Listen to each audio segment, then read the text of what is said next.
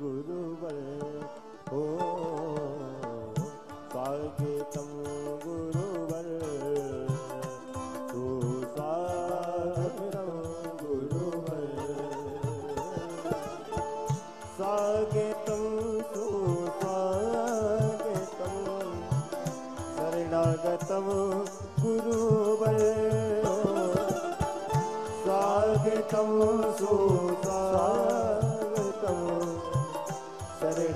शरणागतम गुरुवर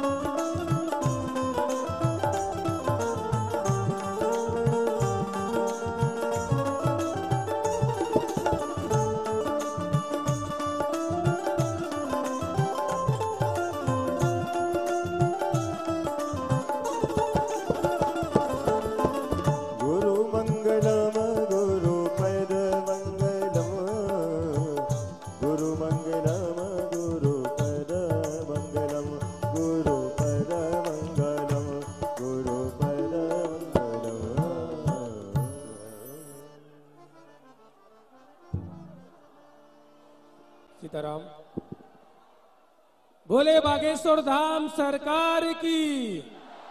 पूज्य गुरुदेव भगवान सन्यासी बाबा की। जय जय श्री राम जय जय श्री राम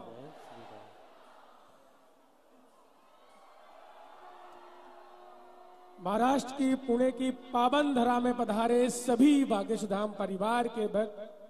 आज से तीन दिन तक हम आप सभी श्री राम चरित चर्चा पर हनुमंत कथा के माध्यम से कथा श्रवण करेंगे और आज कथा का प्रथम दिवस है। सर्वप्रथम हम आप सभी आज की मंगलमय पावन आरती में प्रवेश करेंगे।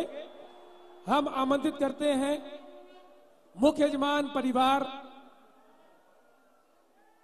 माननीय श्री जगदीश मौलिक जी एवं उनका परिवार। महाराष्ट्र से ही हमारे बीच माननीय मिनिस्टर साहब माननीय श्री चंद्रकांत दादा पाटिल जी से आग्रह है कि पावन आरती में आप पधारें। एक्स एमपी हमारे बीच मान्य श्री संजय काकड़े जी से आग्रह है कि पावन आरती में आप पधारें। पुणे से ही विधायक बहन माधुरी मिसाइल से भी आग्रह है कि पावन आरती में आप पधारें। श्री कृष्ण कुमार गोयल जी से भी आग्रह है। श्री पुनीत बालन जी, श्री अंकुश काकड़े जी, श्री रंजीत मोहिदे जी, श्री श्रीनाथ, विमाल जी, सुशील जी, श्री चेयरमैन सुमित ग्रुप के चेयरमैन जी से भी आग्रह है कि पावन आरती पधारे। बहन अर्चना पाटिल से आग्रह है कि आप भी पावन आरती पधारे। श्री सिद्धार्थ जी से भी आग्रह है कि आप भी पावन आरती पधारे। और सभी जो हमारे बीच आज अतिथि आए हैं, उन सभी से आग्रह है, जो पावन मंच पर है, कि आप सभी पावन आरती में आए। आइए चलते हैं मंगलमय आरती में। जय श्री राम। ॐ ज्वालामाल्लन्नै नमः रत्नेश्वरी नमः। सर्वोपचारार्थे गन्धक्षत्वस्पाणि समर्पयामि। हरिः ओं चन्द्रिमा मनसो जातकृसोः सूर्यो अजायता स्रोतद्युवाय सुप्राणस्य मुखादग्निरजायत हरति की जे हनुमान लला के नरन रघुनाथ बल से गिरिवर कापे रोग दोष जाके निकट लगावे अंजनी पुत्र महाबलदाई संतन के प्रभु सदा साई। जय वीरा रघुनाथ पताए, लंका जलिया सुरगा लंका सो कोटि समुद्र सिखाई जाते पवन सुत पार न लंका जार असुर संगारे सिया राम जी के काज सवारे। लक्ष्मण मूर्छित पड़े सतारे। आन सजीवन प्राण उबारे। बैठ पाताल तोरी जमकारे। अहि रावण की भुजा उखारे वाए भुजा असुर जल दाए भुजा संत जन तारे। सुर नर मुनि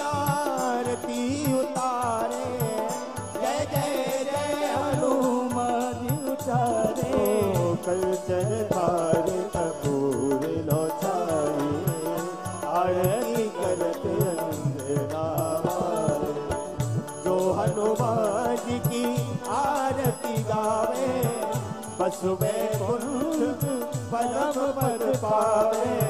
लंका विधुंस किए रघुराई। तुलसीदास स्वामी कीरत गाई। आरती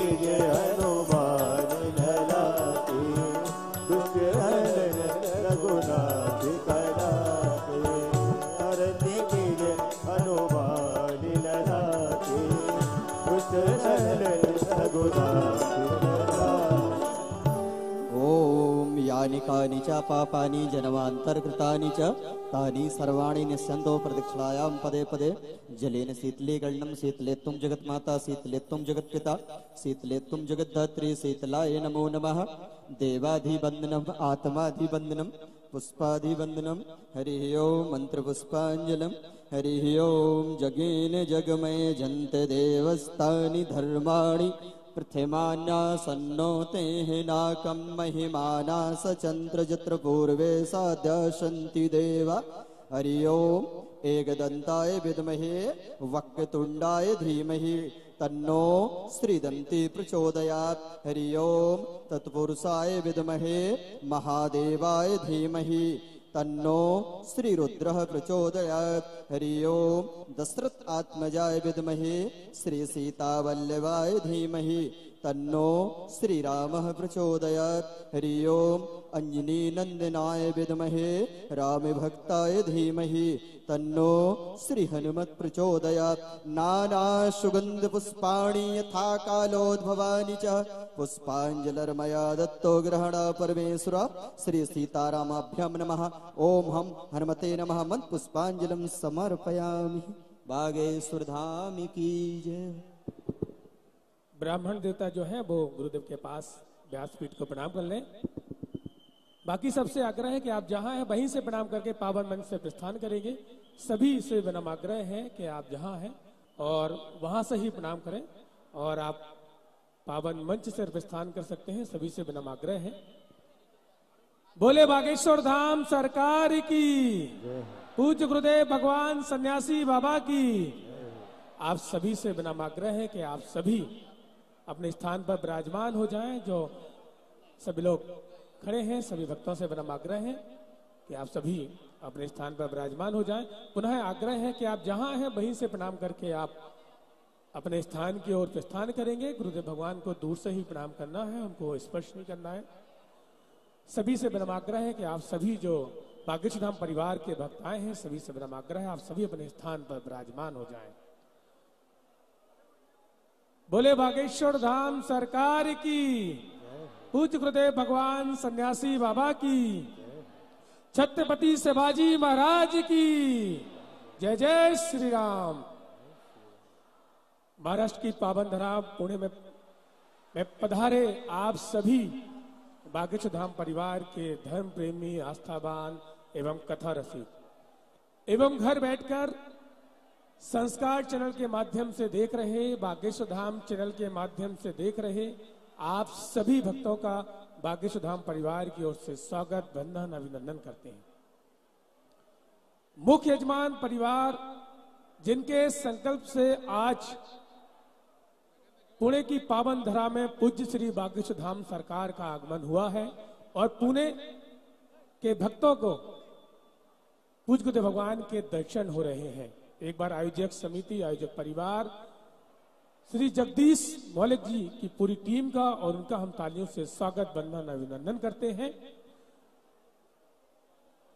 20 दिन में मौलिक परिवार ने, उनके पूरे मंडल ने, उनकी समिति ने तैयारी की है और हम सबका परम सौभाग्य है कि पूज्य श्री बागेश्वर धाम सरकार के दर्शन अपनी पावन धरा में हो रहे हैं। सभी से अपना आग्रह है कि आप एक करके, आकर के आप प्रणाम करके अपने स्थान की ओर प्रस्थान करेंगे। आज से तीन दिन तक श्री हनुमान कथा के माध्यम से हम आप सभी रामचरित चर्चा पर कथा श्रवण करेंगे और इन तीन दिनों में कल कथा के मध्य में ही 12 बजे से बागेश्वर बालाजी सरकार की कृपा सब पर होगी, दिव्य दरबार होगा। कल 12 बजे आप सभी दिव्य दरबार में पधारे। और दिव्य दरबार के बाद कल की जो कथा है, शाम चार बजे से समय से प्रारंभ हो जाएगी। तीन दिवसीय महोत्सव में तृतीय दिवस गुरु दीक्षा का भी कार्यक्रम है। अगर आप गुरुदेव भगवान की दीक्षा लेना चाहते हैं तो सुबह नौ बजे जहाँ उनका निवास है, वहाँ दीक्षा 22 तारीख को सुबह नौ बजे दीक्षा होगी। दीक्षा के लिए आप कार्यालय में अपना नाम दर्ज करा सकते हैं, रजिस्ट्रेशन करवा सकते हैं। कलयुग के राजा श्री हनुमान जी महाराज हैं, और हनुमान जी महाराज की कृपा से जगत में बस सब कुछ संभव है। इसे असंभव मानकर व्यक्ति निराश हो जाता है। श्री बागेश्वर बालाजी का पावन तीर्थ इस बात का प्रमाण है। यहाँ प्रतिमा लाखों श्रद्धालु रोते हुए आते हैं और सभी की झोली भर कर जाती है। सभी से पुनः आग्रह है कि आप प्लीज़ व्यवस्था बनाए, थोड़ा पुलिस प्रशासन आ जाए और खाली करवा दें, मंच को खाली करवा दें। पुलिस प्रशासन आकर के थोड़ा मंच खाली करवा दें, बागेश्वर धाम के सेवादार आकर के मंच को खाली करवा दें। एक मंच की मर्यादा है, मर्यादा को बनाए रखने के लिए प्रवेश किसी को मत कराएँ, इसका ध्यान रखें और मंच खाली करवा दें, प्लीज़। पुलिस प्रशासन पहुँच के और मंच खाली करवा दें प्लीज़ विलंब हो रहा है कार्यक्रम में, कथा में विलंब हो रहा है। आप सभी से विनम्र आग्रह है कि आप जहाँ हैं, वहीं से प्रणाम करके ही आप पावन मंच से प्रस्थान करेंगे। और रहस्यों से भरी है बागेश्वर धाम की पवित्र पावन भूमि। 320 वर्ष पूर्व एक महान साधु, सन्यासी बाबा की कर्म भूमि है बागेश्वर धाम। दिव्य संतों की तपोभूमि है बागेश्वर धाम। वह बागेश्वर धाम है जिसकी कीर्ति देश ही नहीं अपितु विश्व के तमाम देशों में फैली हुई है। बागेश्वर धाम पर ऐसे चमत्कार हो रहे हैं जिनकी लोग कल्पना भी नहीं कर सकते। बागेश्वर धाम परिवार द्वारा पूज्य गुरुदेव भगवान के पावन सानिध्य में अपने भक्तों के लिए गुरुदेव भगवान हर वर्ष अपने भक्तों को ऐसे पावन तीर्थ में लेकर जाते हैं जहाँ वो अपने भक्तों से मिल पाए।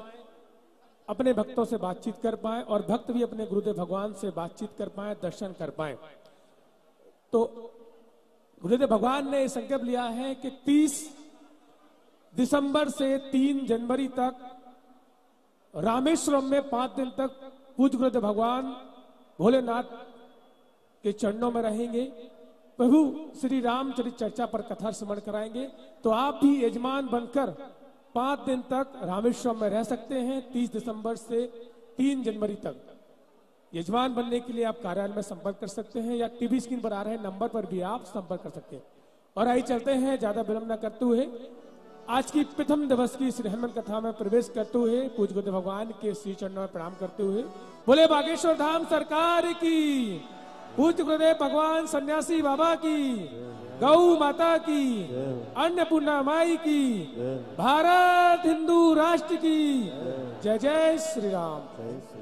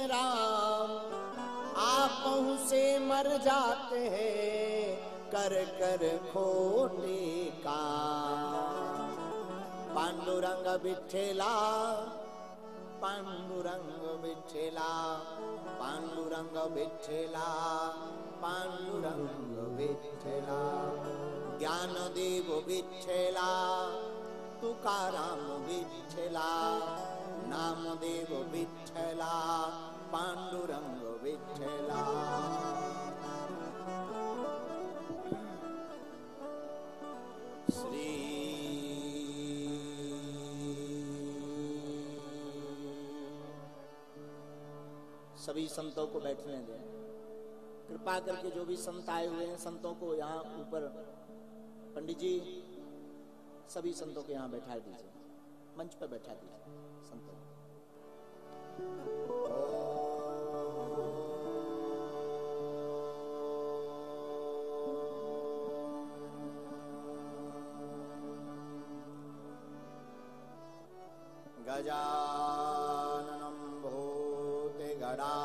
गणादिसेवितं कपीत्यजम्बूफलचारुभक्षणम् उमासुतं शोकविनाशकारिकम्। नमामि विघ्ने स्वरपादिपङ्कजम् नमः गुरुभ्यो गुरुपादुकाभ्यो नमः परिभ्या परपादुकाभ्या। आचारुसिद्धेश्वरपादुकाभ्यो। नमोऽस्तु सीता पतिपादुकाभ्या। श्रीसीतानाथसमारम्भाम् श्रीरामानन्दार्यमध्यमा अस्मदाचार्यपर्यन्ताम् वन्दे गुरुपरम्परा लोकाभिरामं रणरङ्गीरम् राजीवनेत्रं रघुवन्स्नाथम् कारुण्यरूपं करुणाकरन्तम् श्रीरामचन्द्रं शरणं प्रपद्ये मनोजवं मारुतितुल्यवेगं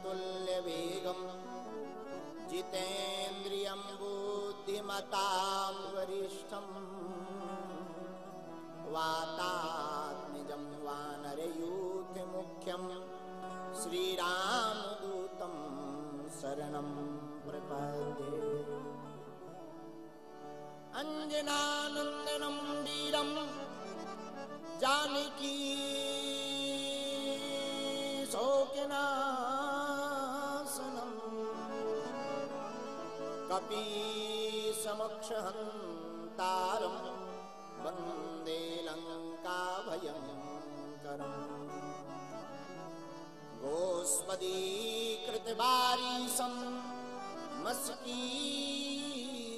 मस्कीकृतराक्षसं रामायणमहामालारत्नं वंदे अनिलात्मजम्।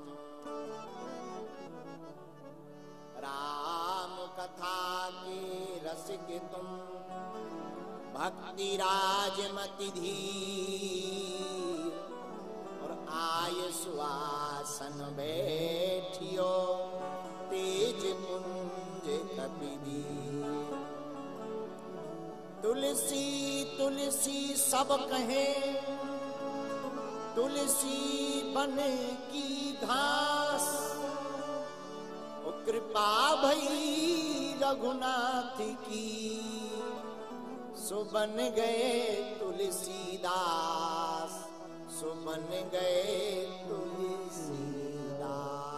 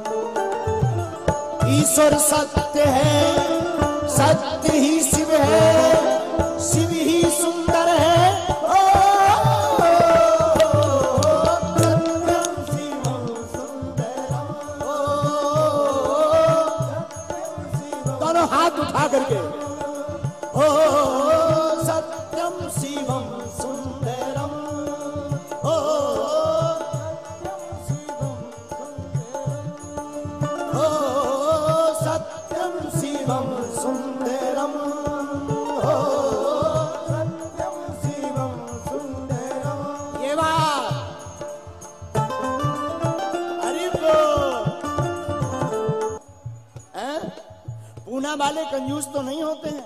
एक बात बोले, कह दो बोलो, अगर हुआ धर्म पर घात मेरे तो मैं प्रतिघात करूँगा।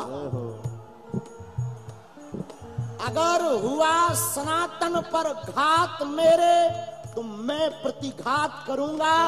यारो, मैं हिंदू हूँ, सिर्फ़ हिंदुत्व की बात करूँगा। पर हाथ उठा करके, ये बात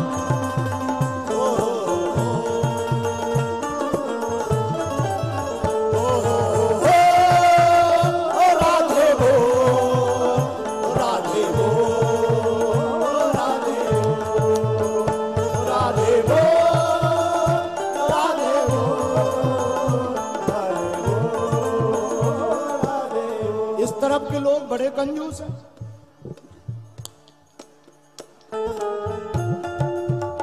जो ताली ना बजाए, उसे अपने अपने बगल वाले की कसम है।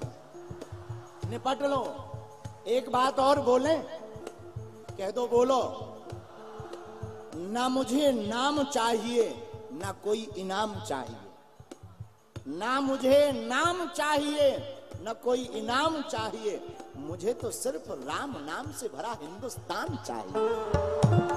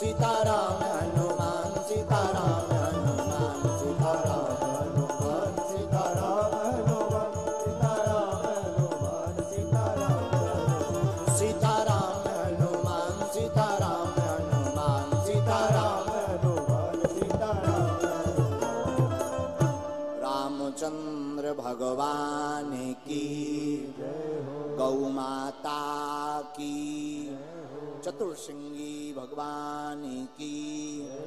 भीम शंकर महादेव की।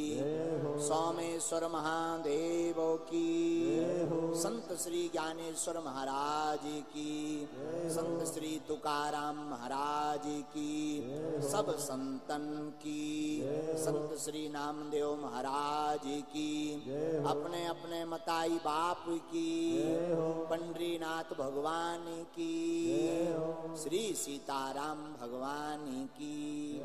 भारत भूमि की, सत्य सनातन धर्म की, भारत हिंदू राष्ट्र की, कथा यजमान जी की, उनके पूरे परिवार की, कथा में सहयोग करने वालों की, कथा का विरोध करवे वालन की भी, नमः पार्वती पते हर हर हर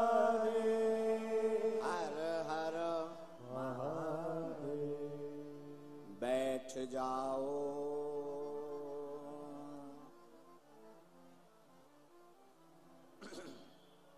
परात्पर परमात्मा, श्री सीताराम जी सरकार की मंगलमयी कृपा, जिनकी कृपा से समस्त पृथ्वी पर चेतना विद्यमान है, ऐसे दया के वत्सल, दीन वत्सल भगवान। रामचंद्र जी सरकार के पाद कमलों को हम सब साष्टांग दंडवत प्रणाम करते हैं। ज्ञानियों में सर्वश्रेष्ठ, गुणों के निधान, ज्ञानी नामाग्रगण्यम सकल गुण निधानम वानरा राम धीसम रघुपति प्रिय भक्तम, वात जातम नमामि। ऐसे अंजनानंदनम वीरम जानकी शोकनाशनम कपी समक्ष हंतारम, वंदे लंका भयंकरम, गोस्पदी कृत बारीसम मस्की कृत राक्षसम, रामायण महामाला रत्नम वंदे अनिलात्मजम। ऐसे अनंत बलवंत परम संत भगवंत श्री हनुमंत लाल के चरणों को प्रणाम करते हैं।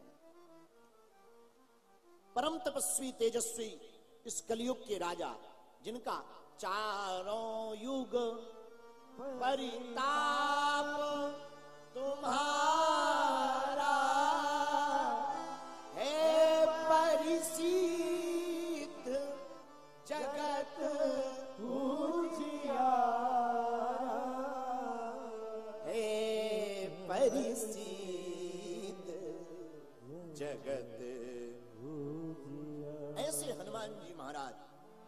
इनका नाम अंजना नंदनम। ऐसे वीर बजरंग बली के चरणों को प्रणाम करके, बुला करके कहते हैं, आओ आओ, वीर हनुमान। आओ आओ, वीर हनुमान, तुझे तेरा भक्त पुकार रहा। आओ आओ, वीर हनुमान।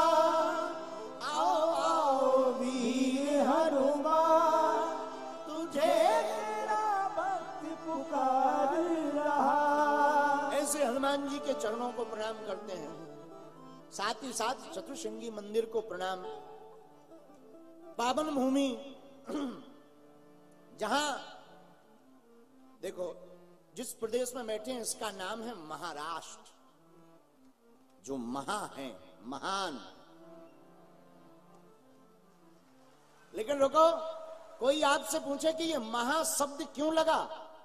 देखो, एक होता राष्ट्र, लेकिन इसमें फिर लगा महा ये महान शब्द का प्रयोग क्यों किया गया है? हम कई बार विचार करते, इतना उपसर्ग का प्रयोग क्यों महाराष्ट्र के लिए किया गया? तो हमारी मन की भावना कहती है, जहाँ संत ज्ञानेश्वर, संत तुकाराम, संत नामदो कान्हो पात्रा जैसे दिव्य, परम दिव्य आत्मा प्रकट हुई हो, वहाँ महान नहीं होगा तो कहाँ होगा?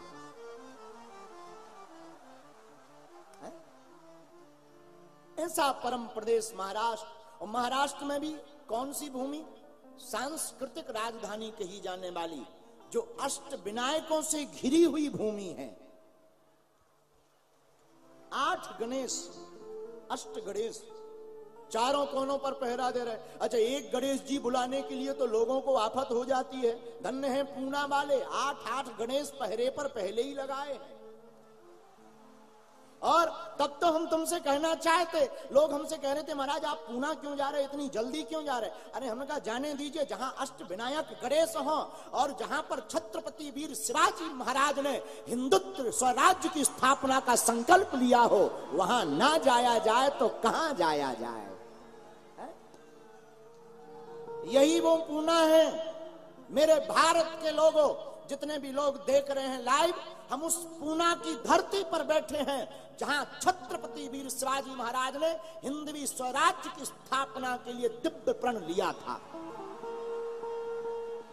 और यही वो पूना है, जहाँ अष्ट विनायक हैं, आठ गणेश हैं यही वो पूना है जहाँ गणेश उत्सव का महोत्सव लोकमान्य तिलक द्वारा सन अठारह अठारह में सर्वप्रथम प्रारंभ करके महा महोत्सव मनाना प्रारंभ किया गया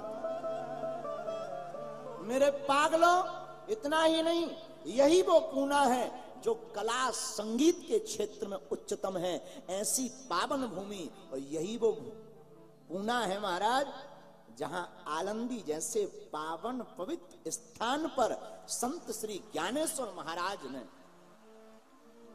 अपने सूक्ष्म शरीर से समस्त जगत के कल्याण के लिए देह को भूमि में पंच तत्व में विलीन किया था। और रुकिए, यही वो भूमि है जहाँ देहू में संत श्री नामदेव जी महाराज का पावन पवित्र मंदिर विद्यमान है। ऐसी पावन नगरी पूना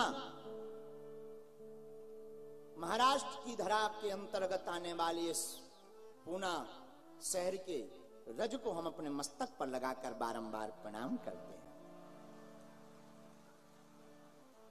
भगवान वेद व्यास जी महाराज, श्री सुखदेव जी महाराज, इस कलिकाल के कलिकुल शेखर पावनावतार गोस्वामी श्री तुलसीदास जी महाराज, जिनकी लेखनी ने वो चमत्कार किया।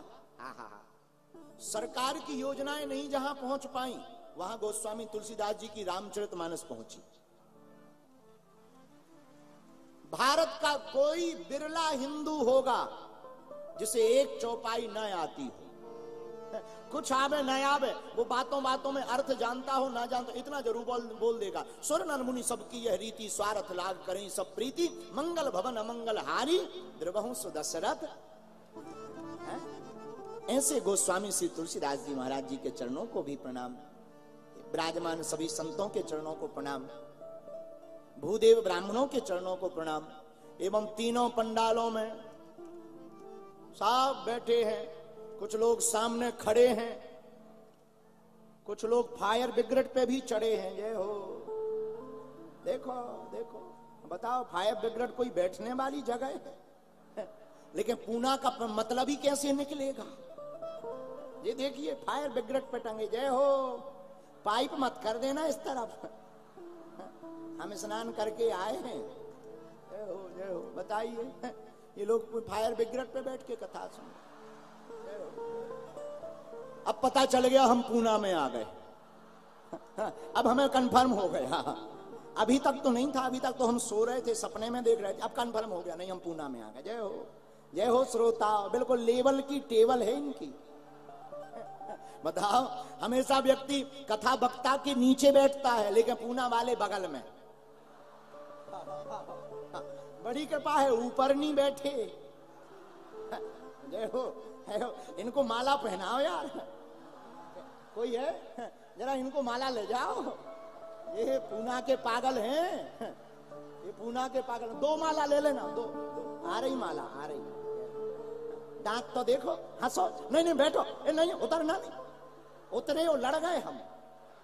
बैठो बैठो। अब तुम्हें उतरने नहीं दिया जाएगा बैठो। चाहे जो हो जाए, पृथ्वी पलट जाए, तुम मत उतरना। क्या गजब बैठे हम तो जब जब हम प्रणाम करने आए तो हमारी नज़र नहीं पे गई। हमने हमने बगल में पूछा भी धीरे से। हमने कहा, क्यों, ये ब्यास गद्दी तो नहीं लगी दूसरी? कथा करने हम आए हो, वक्ता कोई और आ गया हो। लेकिन बाद में पता चला कि ये फायर ब्रिगेड वाले हैं। अद्भुत जय हो पूना। जय हो जय हो। तो तीनों पंडालों में जो जहाँ बैठे हैं, खड़े हैं, अड़े हैं, चढ़े हैं, कुछ लोग आगे बैठने के लिए पुलिस वालों बेचारों से लड़े हैं। जो सेवा में लगे हुए हैं, राष्ट्र सेवा कर रहे हैं, जन सेवा कर रहे हैं। हमारे यहाँ की पुलिस प्रशासन बहुत अच्छी है। हम आए तो सुबह से ही है, लेकिन सुबह से ही इन लोगों का स्वभाव बहुत प्यारा है। एक बार बहुत बहुत साधुवाद पूरी पुलिस प्रशासन को अद्भुत व्यवस्था है। तो कुछ लोग आगे आने के लिए, बैठने के लिए लड़े भी हैं लेकिन कोई बात नहीं, फिर भी बागेश्वर बालाजी के दरबार में पड़े हैं। है? धन्य है। आप सब तीनों पंडालों में जो जहाँ जहाँ विराजमान। हाँ हाँ माला ले जाओ ले जाओ ले जाओ। जब चढ़ाना तो फ़ोटो ज़रूर दिखाना। हाँ हाँ हाँ हाँ। हाँ जाओ जाओ। थोड़ा रास्ता दे देना पंडित जी को। जाइए पंडित जी, जाइए जाइए। ये हम बागेश्वर धाम से पंडित जी भेज रहे हैं। वाह वाह वाह चढ़ जाओ पंडित जी, आप भी चढ़ जाओ। और तो चढ़ने कहीं मिलना नहीं, तुम्हें हमारे बगल में। फायर ब्रिगेड पर ही चढ़ जाओ। जय हो जय हो महाराज जी, जय हो महाराज जी, जय हो जय हो जय हो गिर मत पड़ियो, नहीं तो ब्रेकिंग न्यूज़ बन जाएगी। हाँ डाल दो डाल दो डाल दो। हाँ स्वागत स्वीकार करो स्वीकार करो। ताली बजाओ, बहुत बढ़िया। बहुत बहुत धन्यवाद। जय हो आपकी, जय हो जय हो। आसन लो आप लोग, बैठो आप लोग। अब आप लोगों को टेंशन नहीं लेना है, दुनिया चाहे जो हो जाए, बैठो। हाँ तो जितने भी लोग यहाँ तीनों पंडालों में विराजमान हैं, गोस्वामी श्री तुलसीदास जी की एक चौपाई के साथ हम आप लोगों को भी देश विदेश में जो कथा को सुन रहे प्रणाम करते हैं। सिया राम मैं सब जग जानी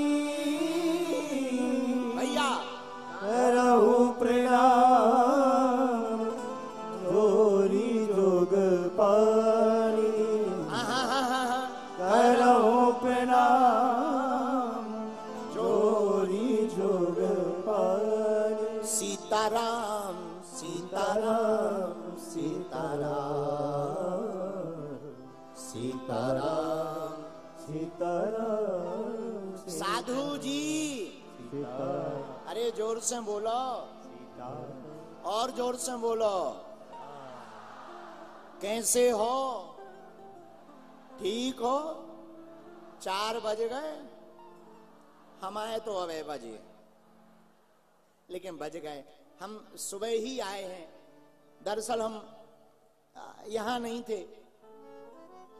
विदेश की धरती पर एक देश है जिसका नाम है फिलीपींस। वहाँ पाँच दिन हमारे एक प्रिय शिष्य हैं, श्री वरुण चौधरी जी। उन्होंने कहा कि आपको गुरुजी चलना है तो कोई सनातन हित के काम के लिए वहाँ पर भी कुछ लोगों की घर वापसी करवाने गए थे। अब ये नहीं बताएँगे वो किस किस काय के थे, वरना विदेशों में जाना हमारा बैन हो जाएगा। अपन वहाँ जाके आग छुपाया है। सनातन की। तो बड़े आनंद के साथ वहीं से रात को 12 बजे हम भारत आए। दिल्ली, दो बजे वहाँ से हम फिर चले। साढ़े चार, पाँच बजे हम जो है, इस पावन धरती पूना में आकर के हमने आपकी धरा को प्रणाम किया। और हमारा सौभाग्य है, इस कथा के मुख्य यजमान श्री जगदीश जी, आप बड़े ही सरल हैं और आपने प्रार्थना की कि गुरुजी आपको कथा करने आना है। ये हमारा सौभाग्य है कि हमें श्री जगदीश जी के कारण भगवत चर्चा सुनाने के लिए तीन दिन तुम्हें परेशान करने का मौका मिला है। अब तीन दिन तक हम तुम लोगों को परेशान करेंगे, तुम्हारे प्राण खाएँगे। लेकिन बात वही है, सनातन के लिए जगाएँगे, हिंदू राष्ट्र बनाएँगे।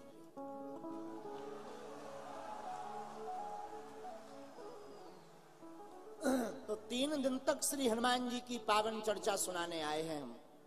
कल कथा का दूसरा दिन है, आज प्रथम दिन है, और कल दिव्य दरबार भी लगाया जाएगा। तो यहाँ जगह तो फिक्स है। अगर कल पूरा भर जाए तो कुछ लोग घर से ही टीवी पर देखना, क्योंकि खूब मैदान तो खूब है, ऐसा नहीं कि कम नहीं है, खूब मैदान है। लेकिन पागल ही पागल जुड़ गए। तो हम आज विचार कर रहे थे कि तीन दिन तक यहाँ पूना में किस पर कथा करें? कौन सा चरित्र हनुमान जी का सुनावे? सुबह सुबह से हमारे मन में एक ही प्रेरणा आई, गुरु तत्व पर हनुमान जी की कथा सुनाई जाए। क्योंकि ये गुरुओं की भूमि है, संतों की भूमि है, और हमारे हनुमान जी महाराज भी साधु संत की तुम रखवारे साधु संत के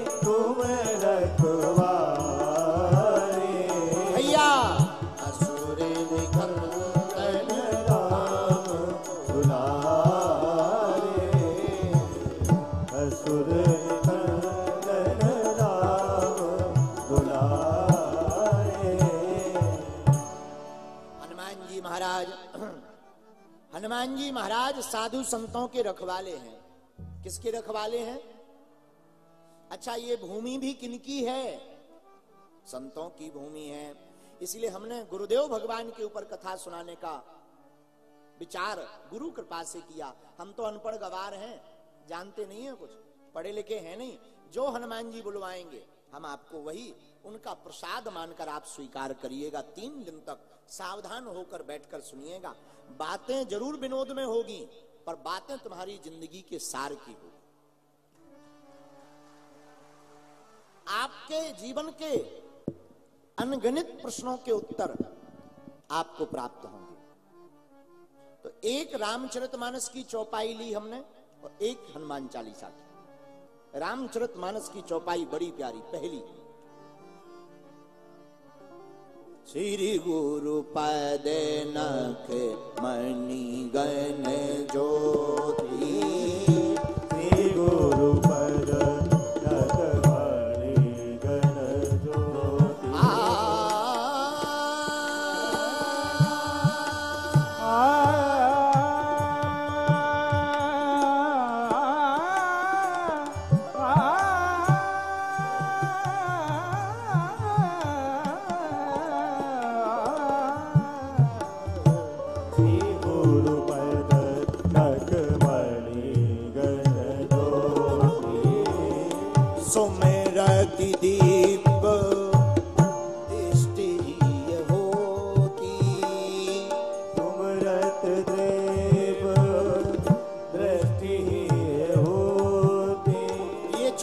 सबको आती होगी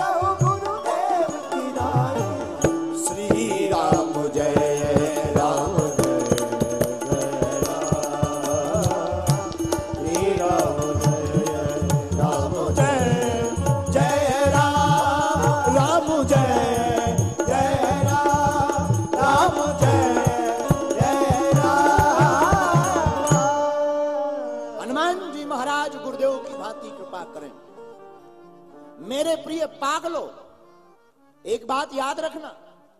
पैसा बहुत कुछ है, पर सब कुछ नहीं है।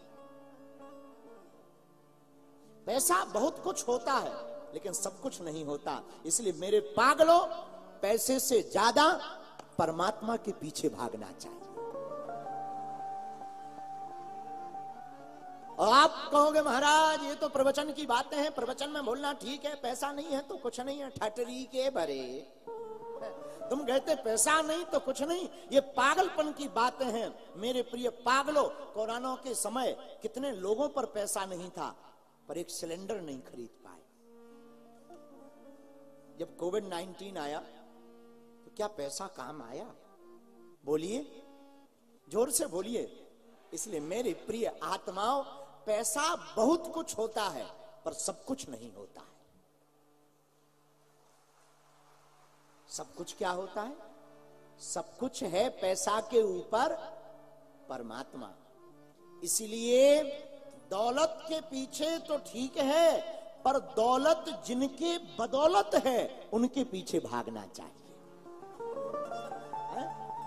दौलत भी जिनके कारण है, जिनकी बदौलत है, उनके पीछे भागना चाहिए। और बदौलत किनके है? देखो मेरे प्रिय पागलो धन से तुम धनवान बनोगे, लेकिन भक्त रहोगे तो भगवान के बनोगे। एक बात और, पैसा बहुत हो जाए, पैसा तुम्हें ऊपर ले जाएगा। बहुत ऊपर ले जाएगा, हवाई जहाज़ पे उड़ने लगोगे। पैसा हो जाए, ऊपर हवाई जहाज़ पे। अच्छा पैसा तुम्हें ऊपर ले जा सकता, लेकिन तुम पैसे को ऊपर नहीं ले जा सकते। पैसा तुम्हें ऊपर ले जा सकता, हवाई जहाज़ तक। लेकिन जब मरोगे तो क्या तुम पैसा ले जाओगे? आज तक जितने लोग मरे, उनकी तुमने देखा कि उनकी लकड़ियों की जगह डॉलर बिछाए गए? देखा तुमने? अब पूना में हुआ हो ऐसा तो बजरंग बली जाने। हमने तो नहीं देखा। इसीलिए मेरे पागलों, पैसा बहुत कुछ होता, लेकिन सब कुछ नहीं होता। सब कुछ तो भगवान की भक्ति होती, और ये दृष्टि गुरु कृपा से ही प्राप्त हो सकती है। इसीलिए हमने हनुमान जी से क्या प्रार्थना की? कृपा।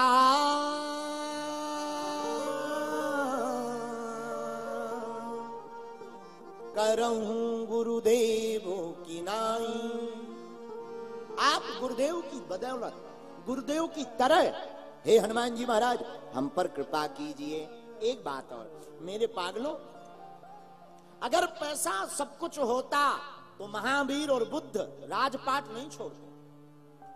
महावीर ने राजपाट त्यागा। बहुत से लोग कमेंट करेंगे, नहीं नहीं महाराज, पैसा बहुत कुछ होता है। भैया, बहुत कुछ होता, सब कुछ नहीं होता। वरना महावीर को राज त्यागने की क्या आवश्यकता? बुद्ध को, महात्मा बुद्ध को, ऐश्वर्य त्यागने की क्या आवश्यकता? वो ऐश्वर्य त्याग कर वैरागी बने। इसका मतलब पैसा सब कुछ नहीं होता, बहुत कुछ होता है, सब कुछ नहीं होता। और पुना के पागलो, हमारी एक बात गांठ बाँध लेना, तुम्हारे काम बहुत आएगी। याद रखना, पैसों से तुम भोजन खरीद सकते हो, भूख नहीं खरीद सकते। पैसों से तुम बिस्तर खरीद सकते हो, नींद नहीं खरीद सकते। पैसों से तुम किताबें खरीद सकते हो, ज्ञान नहीं खरीद सकते। पैसों से तुम बिस्तर खरीद सकते हो, लेकिन नींद नहीं आ सकती आपको। पैसों से साधन खरीद सकते हो, साधना नहीं खरीद सकते। पैसों से तुम झोली और माला खरीद सकते हो, भक्ति नहीं खरीद सकते। आप झोली माला ले। लोगे जितना महँगा लगाओगे, उतना झोली माला वीआईपी आ जाए। लेकिन भक्ति भक्ति किसकी कृपा से मिलेगी? बोलिए, हनुमान जी की कृपा से। क्यों? हनुमान जी महाराज स्वयं भक्त हैं। कौन है हनुमान जी? भक्त किसके? राम जी के। और एक भक्त दूसरा देखो भाई, एक दिया जल रहा हो। दूसरा दिया बुझा पड़ा हो। और दोनों नज़दीक लगा दिया जाए, बुझा हुआ दिया नज़दीक रख दिया जाए तो क्या होगा? वो भी? हाँ जी या ना जी? तो हनुमान जी जलते हुए भक्ति के दीपक हैं और इन जलते हुए हनुमान जी के भक्ति के दीपक के नज़दीक हमारे, तुम्हारे जैसा जीव बुझा हुआ इनके चरणों में अगर जुड़ जाए तो हमारे आपके मन में भी राम जी की भक्ति का दीपक प्रज्वलित हो जाएगा। इसलिए जय जय जय हनुमान। गुसाई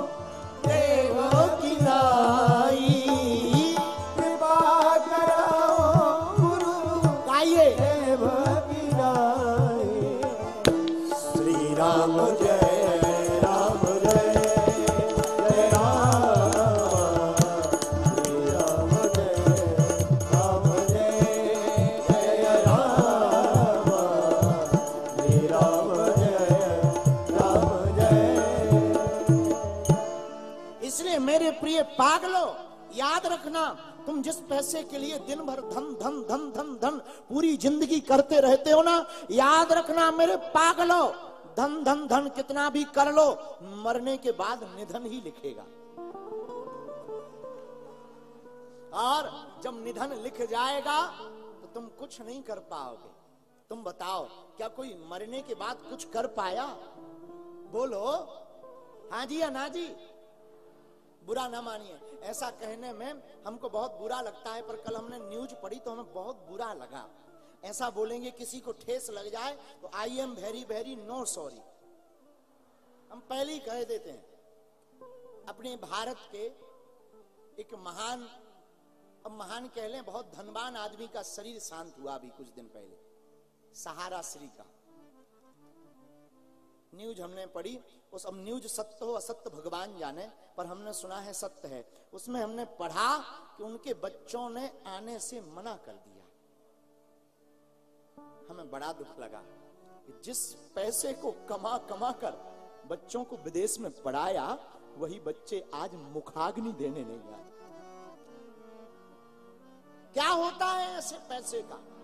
क्या होता है ऐसी संपत्ति का जो मरते समय तुम्हें अपने बेटे के हाथ से मुखाग्नि भी प्राप्त न हो सके? है? आज वो तो दिवंगत हो गए। भगवान को उनको नाम, शायद भगवान को ऐसे व्यासपीठ से उनका नाम लिवाना होगा। ये भी हनुमान जी की महिमा होगी। लेकिन वो बहुत बड़े बिजनेसमैन अब वो मरे, उनके बच्चों ने मना कर दिया, सहारा जी के बच्चों ने। हम नहीं आएँगे मुखाग्नि देने के लिए। और सुना है दो दो बेटे। दोनों नहीं आए। अरे, डूब के मर जाओ। जो अपने बाप के लिए नहीं आ सके, वो किस काम के लिए आएँगे? इसलिए मेरे पागलों, पैसों से ज़्यादा भारतीय संस्कृति पर भरोसा करना, अपने बच्चों को धन गिफ्ट में देने की बजाय रामचरित मानस देना। हम तो महाराष्ट्र में रहने वाले लोगों से प्रार्थना करेंगे, महाराष्ट्र के पागलों, तुम अपने बच्चों को गाड़ी, बंगला, कोठी या बहुत बड़ा बैंक बैलेंस देकर जाना या मत जाना, लेकिन अपने बच्चों के हाथों में गीता, रामायण, ज्ञानेश्वरी गीता और छत्रपति वीर शिवाजी महाराज का चरित्र ज़रूर दे करके जाना। ये हमारी प्रत्येक महाराष्ट्रियन से प्रार्थना है, और तुम अगर अपने बच्चों को ज्ञानेश्वरी गीता अगर तुम अपने बच्चों को श्रीमद भगवत गीता, तुम अपने बच्चों को श्री राम चरित्र मानस, तुम अपने बच्चों को कथाओं में लाकर बैठाओगे तो तुम्हारे बच्चे कम से कम ऐसी बेहुदा और निकम्मी हरकत तो नहीं करेंगे। मेरे प्रिय पागलो, इसलिए पैसा सब कुछ नहीं। आज पता नहीं क्यों हमारे दिमाग में ये बात आ रही है। याद रखना तुम अपने बच्चों को अगर संस्कार ना दे पाए तो तुमने बहुत बड़ा गुनाह किया है। तुमसे बड़ा अपराधी कोई नहीं है। हत्या से ऊपर का अपराध है कि तुमने अपने बच्चों को रामायण नहीं सिखाई। तुमने अपने बच्चों को हिंदुत्व का रंग नहीं भरा, तुमने अपने बच्चों को संस्कृति नहीं सिखाई, तुमसे बड़ा कोई अपराधी नहीं होगा। इसलिए महाराष्ट्र के लोग और भारत में रहने वाले जितने भी अभिभावक माता पिता हैं मेरी प्रार्थना है व्यासपीठ से, हम कथा सुनाने आए हैं, लेकिन तुम्हें जगाने भी आए हैं। अपने बच्चों को रामचरित मानस ज़रूर पढ़वाओ। क्यों? जब तुम्हारे बच्चे रामचरित मानस पढ़ेंगे तो रामायण में ये भी पढ़ेंगे, प्रात काल उठे के रघुनाथा, मात पिता गुरु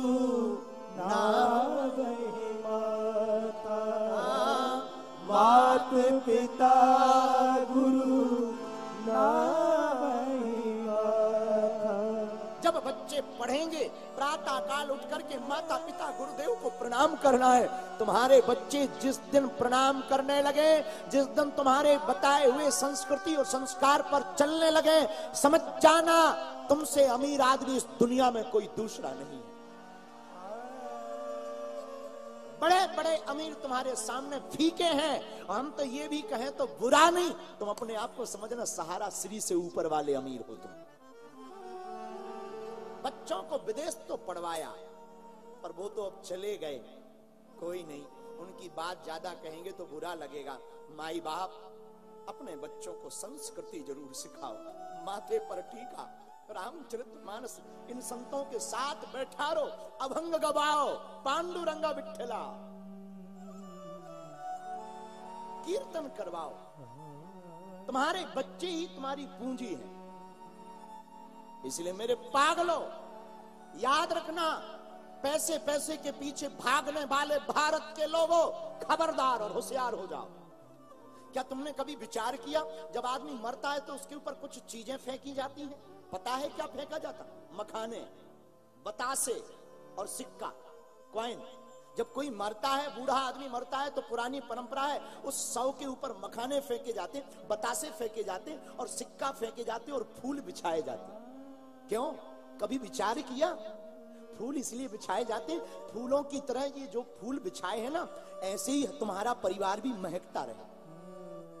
मखाने क्यों फेंके जाते ये जो मखाने फूले हुए हैं ना, जो मर गया, उनसे प्रार्थना करते उस दिवंगत आत्मा से, तुम्हारा परिवार भी ऐसे ही हला फूला रहे, भरा पूरा रहे। और बतासे क्यों फेंके जाते बतासे इसलिए फेंके जाते कि हमारे तुम जिस परिवार को छोड़कर गए हो, उसमें आपस में मिठास बनी रहे। लेकिन पैसा क्यों फेंके जाते? कभी विचार किया? विचार किया? अमीरो, विचार किया? नहीं ना? सुनो, अब हम बताते आज तुम्हारी धोती खुलेगी।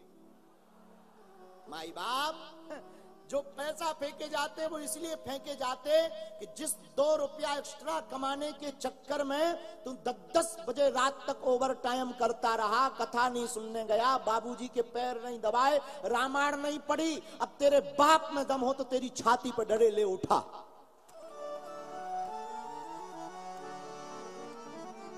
क्या वो सौ उठाता है? बोलो, क्या वो फिर उठा पाता मरने के बाद? पड़ा रहता है। राम नाम क्या है? राम नाम उस पैसा पर कोई काम नहीं आता इसलिए मेरे पागलों पैसा बहुत कुछ हो सकता पैसा सब कुछ नहीं हो सकता इसलिए मेरे प्रिय साधको यह दृष्टि तभी आएगी जब हनुमान जी की कथा श्रवण करोगे हनुमान जी के भक्त बनोगे तुम्हारी दृष्टि खुल जाएगी। और इसीलिए हमने हनुमान जी को पकड़ा। जय जय जय हनुमान गुसाई।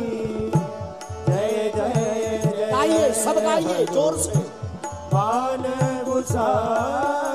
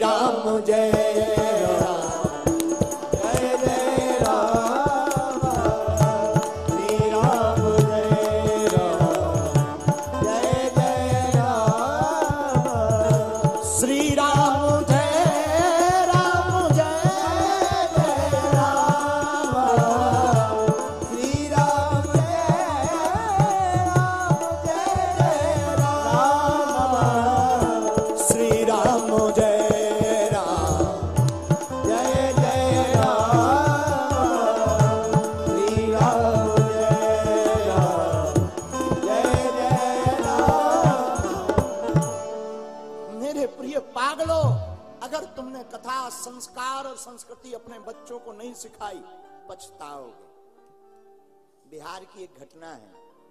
महाराज जी, सत्य घटना है। हमें याद आ गई तो हम बोल देते हैं। बिहार में एक पांडे जी रहते थे, बड़े अच्छे ब्राह्मण। बिहार प्रांत में। ये घटना होगी, आज से यही कोई 35-40 साल पुरानी, ज़्यादा नहीं। तीस पैंतीस साल पुरानी। पत्नी वो बड़ी मुश्किल से हनुमान जी की साधना करने के बाद उनके एक बालक हुआ। एक ही बेटा। बड़ी मुश्किल से। उन्होंने बालक को बड़ा पढ़ाया, लिखाया, बड़ा किया। बिल्कुल गरीब ब्राह्मण। पांडे जी बड़े गरीब थे। कुछ था नहीं घर पे। गाँव में भिक्षा मांगकर कर्म कांड का पाठ करवाकर सत्यनारायण करना रामचरितमानस करवाना, पूजन करवाना, गृह प्रवेश करवाना, वास्तु पूजन कराना। आदि आदि केवल कर्म कांड के बल पर जो दक्षिणा मिलती थी, उसी दक्षिणा से अपने बच्चे को पढ़ाया। अब पूरी ज़िंदगी में कभी कपड़े नहीं खरीदे। एक जोड़ी पहनकर रहते थे। फटी धोती, लेकिन बेटा को पढ़ाया, बिहार की टॉप यूनिवर्सिटी में पढ़ाया। किस्मत की बात, बालक पढ़ने में बड़ा होशियार माता पिता का आशीर्वाद, वो बालक बड़ा होकर के पढ़ करके आईएएस बन गया। कलेक्टर। लेकिन ट्रेनिंग में था तो पांडे जी की पत्नी खत्म हो गई, उसकी माता जी अब जब ज़्यादा पड़ गया तो बढ़ गया। माता जी के मरने की सूचना मिली, नहीं पहुँचा। कह दिया ट्रेनिंग में है। पिताजी ने कहा, कोई बात नहीं नया नया कलेक्टर बना है नौकरी ना छूट जाए। तो पत्र में लिख करके पिताजी ने कहा बेटा तुम चिंता मत करो अपनी ट्रेनिंग बढ़िया से करो हम सब देख लेंगे। अब कई दिन बीत गए बालक की पोस्टिंग हो गई जिला में पर लौटकर उसने खबर नहीं ली पिताजी। क्यों? उसने सोचा अब हमारे मित्र बड़े बड़े हैं हम जाएँगे पिताजी गरीब फटी हुई वस्त्र पहनते हैं। उनका रहन सहन पुराना। लोग हमारा मज़ाक बनाएँगे, हमारी मित्र मंडली मज़ाक बनाएगी। इस चक्कर में मस्त हो गए। गाँव के लोगों ने कहा, पांडे जी, आपका बालक कलेक्टर है, कभी मिलने नहीं गए? तो बोले, हम पे भैया किराया ही नहीं है, कहाँ से जाएँ? बिल्कुल सत्य घटना बता रहे हैं आप। तो गाँव के लोगों ने दो दो पाँच पाँच रुपया जोड़ मेल करके उनको किराया दिया। वही उन्होंने धोती धोई, पहनी, ऊपर से एक फटा सा कुर्ता पहना, एक थैला ले लिया, उसमें लोटा डाल लिया, पुराने लोग। उसमें लोटा डाल करके जब वो मिलने गए तो उनका बालक बड़े अफसरों के साथ मीटिंग में बैठा था। और चाय चल रही थी, पकौड़ी खा रहे, मस्ती हो रही। तो दरवाजे पर कलेक्टर साहब के द्वारपाल ने रोक दिया। जो सिक्योरिटी में लगे थे। आप अंदर नहीं जा सकते। कौन हो? तो पांडे जी ने हाथ जोड़कर बुढ़ापे का शरीर हाथ जोड़कर कहा, श्रीमान, यहाँ जो कलेक्टर साहब रहते हैं, वो हमारा बेटा है। हम उनके पिताजी। और हमें मिल लेने दो। तो पहली बात तो वह जो द्वार पर लगे हुए सिक्योरिटी में तो वो बड़े चौंके, लेकिन सकल में नाक मिलती जुलती थी। रंग एक जैसा दिख रहा था। उसने कहा, एक बार साहब को बता दे मैं। तो साहब बैठे हुए थे, मेज के ऊपर, और अधिकारी बैठे हुए, बढ़िया चाय चल रही बड़े बड़े अधिकारी बैठे, पुलिस अधीक्षक महोदय बैठे, वार्ता चल रही थी, एसपी महोदय आदि बैठे, वार्ता चल रही थी। तो सिक्योरिटी गार्ड ने बाहर के जो सिपाही थे, उन्होंने जाकर के कहा, श्रीमान और सर, आपके पूजनीय पिताजी आए हुए हैं दरवाजे। तो उन्होंने आँखों से इशारा किया, ठीक है, बुलाओ। जब वो अंदर आए, फटी सी हालत देखी तो बाकी मित्र देख करके बोले, क्यों? ये आपके पिताजी हैं। उस बालक की बात सुनकर के पांडे जी का शरीर चौंक गया। बालक बोला, नहीं नहीं, ये पिताजी नहीं है। ये हमारे पिताजी के मित्र हैं जो पिताजी जैसे। जैसे ही इतना कहा तो पांडे जी थैला लिए हुए खड़े थे। वो बचपन की बात याद कर, करके सोचने लगे जिस बालक को हमने कर्मकांड करवा करवा करके पढ़वाया, रातों भर कंधे पर बैठा करके यूनिवर्सिटी लेकर के गए स्कूल लेकर के गए, परीक्षा दिलवाने गए, आज उसी बालक ने हमें पिता का मित्र बतला दिया। तुरंत पांडे जी ब्राह्मण बड़े योग्य ब्राह्मण थे। उन्होंने तुरंत थैला रख करके कहा, श्रीमान एसपी महोदय सही कह रहे हैं। दरअसल हम इनके पिताजी के मित्र नहीं है, इसकी माताजी के मित्र रहे। अब इसकी माताजी तो है नहीं। अब हम भी जा रहे हैं। और जा, आज के बाद हम लौट कर कभी तुझे अपना मुँह नहीं दिखाएँगे। और इतना कह के वो श्रीधाम वृंदावन आ गए। वृंदावन में रहने लगे। महाराज, हम सत्य घटना बता रहे पचासों बार भूल बस वो बालक गया। उसके साथ में घटना घट गई बालक के साथ में। एक अपराध हो गया, केस हो गया। उसके कारण नौकरी उसकी छूट गई। बालक बर्बाद हो गया। जब भूलवश वृंदावन पिता के चरण शरण में गया, तब पांडे जी ने कहा, बेटा, ना तू हमारा बेटा है, ना हम तुम्हारे बाप हैं, हम तो बिहारी जी के हैं, तुमने तो उसी दिन हमें त्याग दिया था। वह खूब रोता रहा, लेकिन पांडे जी ने फिर कभी अपना जीवन में दोबारा उस बालक को स्वीकार नहीं किया। इसलिए मेरे प्रिय बालकों, मेरे महाराष्ट्र के पागलों, हम तुमसे हाथ जोड़ के प्रार्थना करते, हे बेटा और बेटियों, पढ़ करके खूब बड़े बन जाना और स्वप्न में भी अपने माँ बाप और गुरुदेव को मत भूलना। हमने आपको कोई त्रेता या द्वापर की कथा नहीं बताई, अभी की घटना बताई। वरना जो मात पिता गुरु का अपराधी होता है, वो दुनिया में कहीं सुखी नहीं रह सकता। कहीं सुखी नहीं रह सकता। माता पिता गुरुदेव का अपराधी कभी सुखी नहीं हो सकता। सुखी रहने का मूल मंत्र है माता पिता गुरुदेव की छत्र छाया। लेकिन मेरे प्रिय पागलों, ये तभी संभव है जब हम अपने बच्चों को रामचरित मानस पढ़वाएँगे, गीता का पाठ पढ़वाएँगे, संस्कार और संस्कृति के बारे में बताएँगे, तभी हमारे बच्चे इस भावना से ऊपर उठेंगे और पैसा बहुत कुछ है, लेकिन सब कुछ नहीं है, तभी बच्चे ये जान पाएँगे। इसलिए मेरी आत्माओं और याद रखना, ये दृष्टि गुरु कृपा से ही संभव है। कैसे संभव है? बोलो। कैसे संभव है? गुरु कृपा से। गुरु कृपा, गुरु का मतलब जिसके सन्मुख बैठते ही हमारा अज्ञान मिट जाए, वो गुरु। जिसकी बाणी श्रवण करते ही हमारे अज्ञान का अंधकार दूर हो जाए, वो गुरु। गुरु वो जो परमात्मा से मिलाने की राह बतला दे। गुरु वो नहीं है कि तुमने मंत्र ले लिया और चले जय सिया राम ना ना ना, याद रखना, कन फुक्का गुरु हज़ार हैं।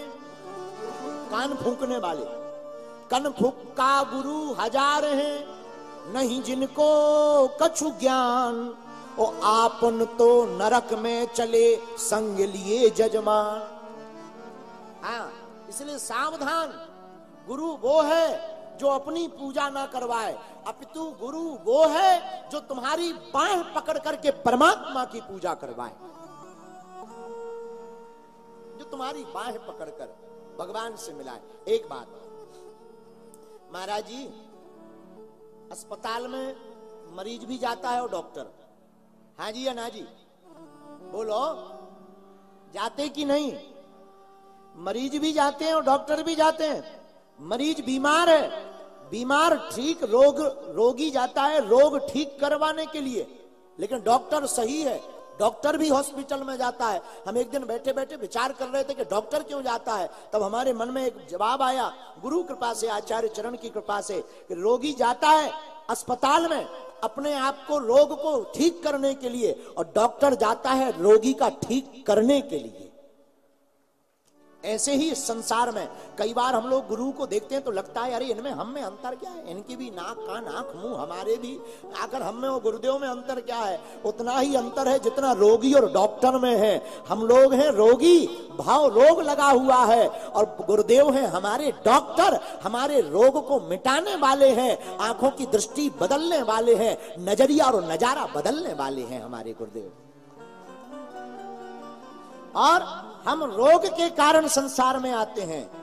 गुरुदेव, रोग मिटाने के लिए संसार में आते हैं। दिखाई दोनों एक जैसे पड़ते हैं, लेकिन जिसके ऊपर गुरु कृपा हो जाती है, उसका जीवन का नज़रिया बदल जाता। और तुम पूछोगे, गुरुदेव कौन बेहतरीन है? तो हमारी नज़र में, जय जय जय, हनुमान गुसाई। जय जय जय हनुमान गोसाई।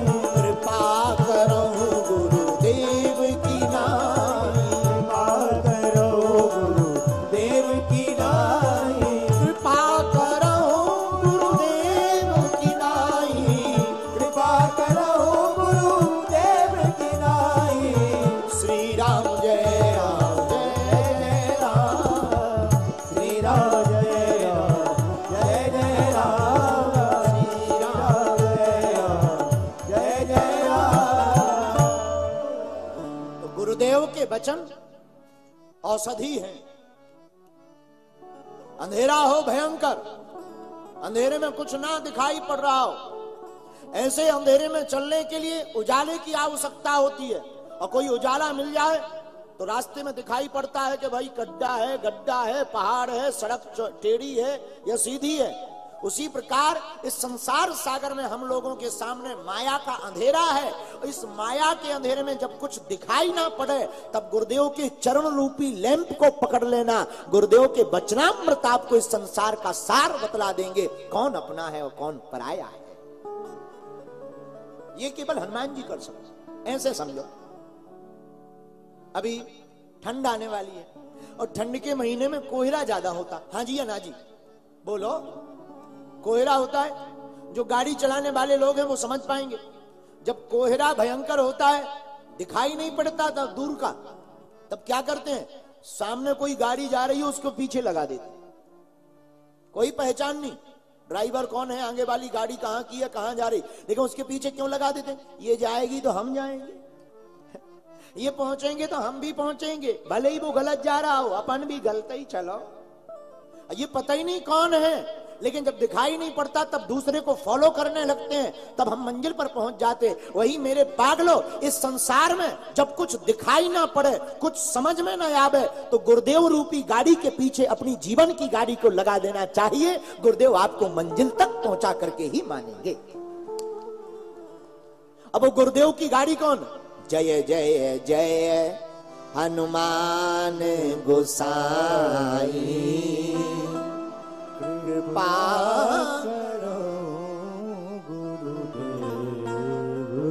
गाइए। हाँ। जय जय जय हनुमान गाइए।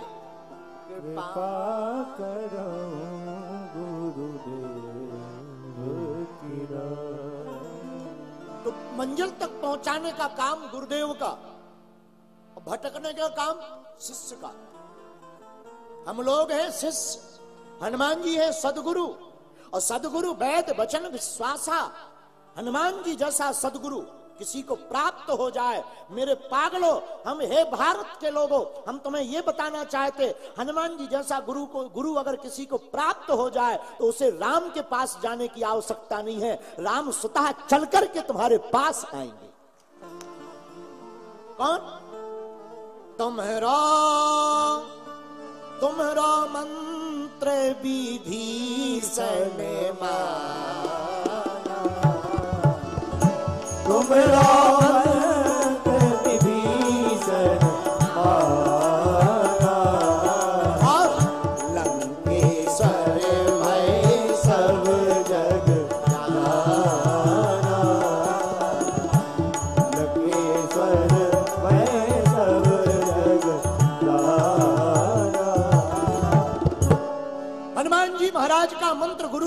किसने माना, विभीषण जी ने माना। अच्छा विभीषण ने माना तो हुआ क्या? लंकेश्वर भय बोलिए बोलिए, क्या हो गया? लंका के राजा बन गए। कौन बन गया लंका का राजा? विभीषण। और इनका मंत्र एक व्यक्ति ने और माना। किसने? राम मिलाए। किससे? सुग्रीव जी महाराज से किसने मिलाया? राम जी को? बोलिए, किसने मिलाया? हनुमान जी ने, हनुमान जी ने मिलाया। सुग्रीव कहाँ बैठे? पहाड़ पे। और हम लोग भी कहाँ बैठे? हम लोग भी कामनाओं के पहाड़ पर बैठे हैं। सुग्रीव जी कहाँ बैठे थे?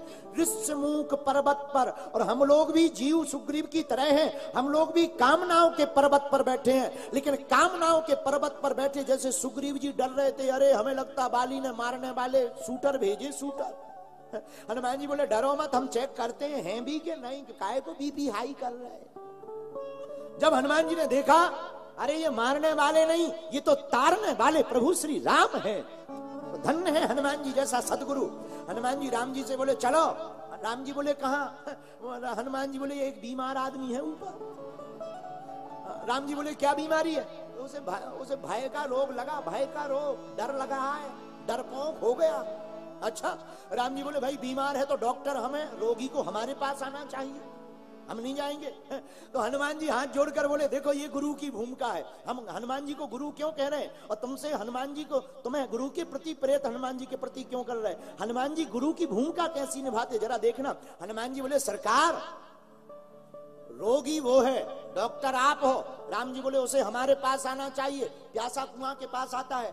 तो हनुमान जी बोले, महाराज, कई बार रोगी ज़्यादा गंभीर हो जाता है, या तो एंबुलेंस जाती है या डॉक्टर जाता है।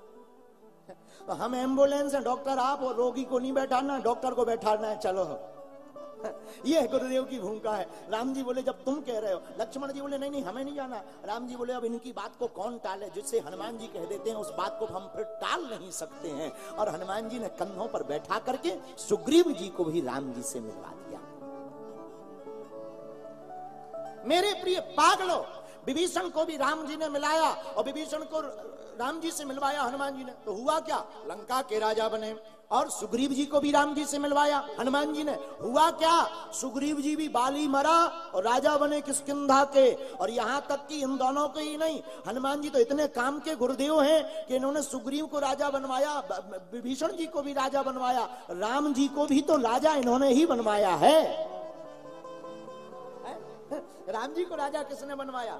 न जानकी जी की खबर लाते, ना रावण मर पाता, ना राम जी राजा बन पाते। तो तीन तीन लोगों को राजा बनाने का काम किसका है? बोलो बोलो बोलो। मेरे पागलो, हम तुम्हें कहना ये चाहते, अगर तुम हनुमान जी के भक्त हो जाओगे तो तुम भी अपनी ज़िंदगी के राजा बन जाओगे। क्यों दुर्गम काज जगत के जेते सुगम अनुग्रह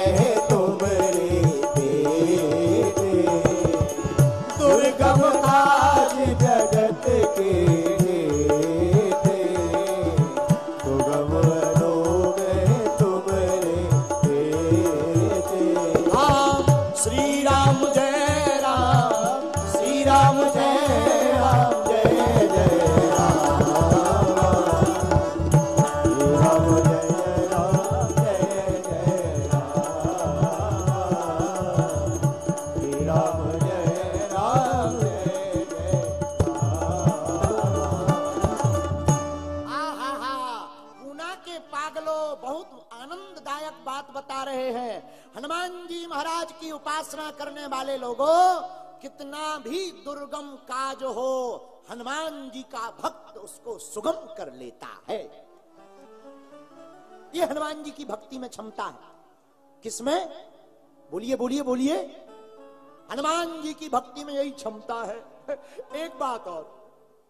आप लोग कहेंगे, आपने यहाँ पर कथा दो चौपाइयाँ लेकर क्यों बोली? एक रामचरितमानस एक हनुमान चालीसा। प्रश्न। और आप हनुमान जी को ही गुरु क्यों कह रहे उत्तर सुनिए।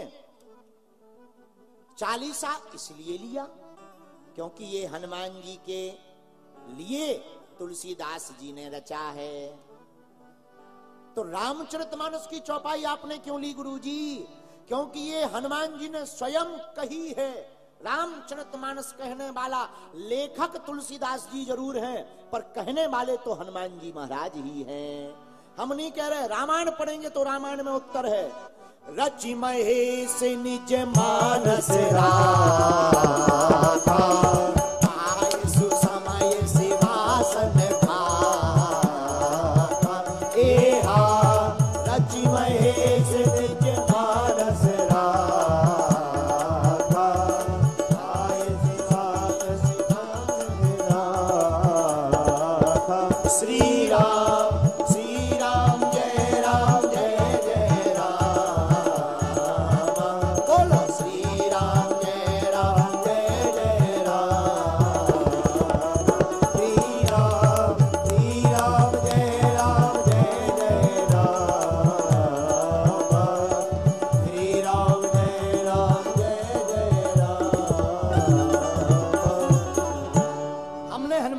हनुमान की चौपाई ली। जय जय जय। हनुमान गुसाई। कृपा करो। कैसी? गुरुदेव की आई इसको लिखने वाले कौन? तुलसीदास जी महाराज इन्होंने कब लिखा? जब राजा अकबर ने तुलसीदास जी को जेल में डाल दिया हे बाबा जी महाराज हमने सुना तुम बड़े चमत्कारी हाँ, तुलसीदास जी बोले, हम चमत्कारी नहीं है। हम तो राम का नाम लेते हैं, चमत्कार हो जाता है। बाबा, झूठ मत बोल, चमत्कार दिखा, नहीं तो जेल जाएगा।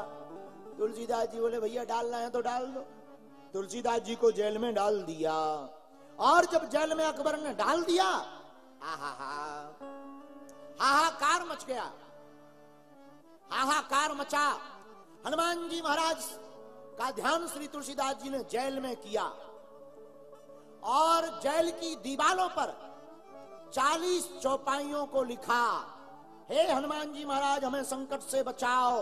और जब हनुमान चालीसा की रचना जेल में की तो अकबर के पूरे राज्य में बंदरों का आतंक हो गया, हाहाकार मच गया बंदरों के द्वारा। जगह जगह लोग लोगों को घायल किया जाने लगा बंदरों के द्वारा। तो आपातकालीन बैठक कराई गई। अकबर ने कहा, क्या बात है, आजकल बंदर बहुत परेशान कर रहे हैं।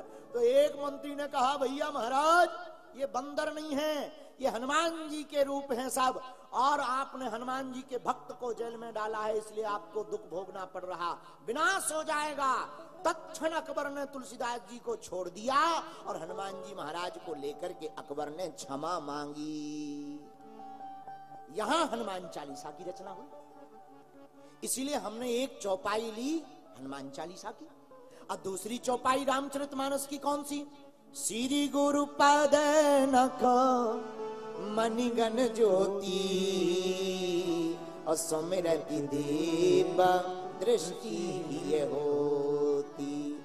हे गुरुदेव भगवान, आपके चरणों के अंगूठों की जो भी ध्यान करेगा जिस स्मरण करने मात्र से ही दिव्य दृष्टि हो जाएगी। ये रामचरितमानस भी किसने लिखी? रची महेश निज मानस राखा। पाए सुसमय शिवासन भाखा।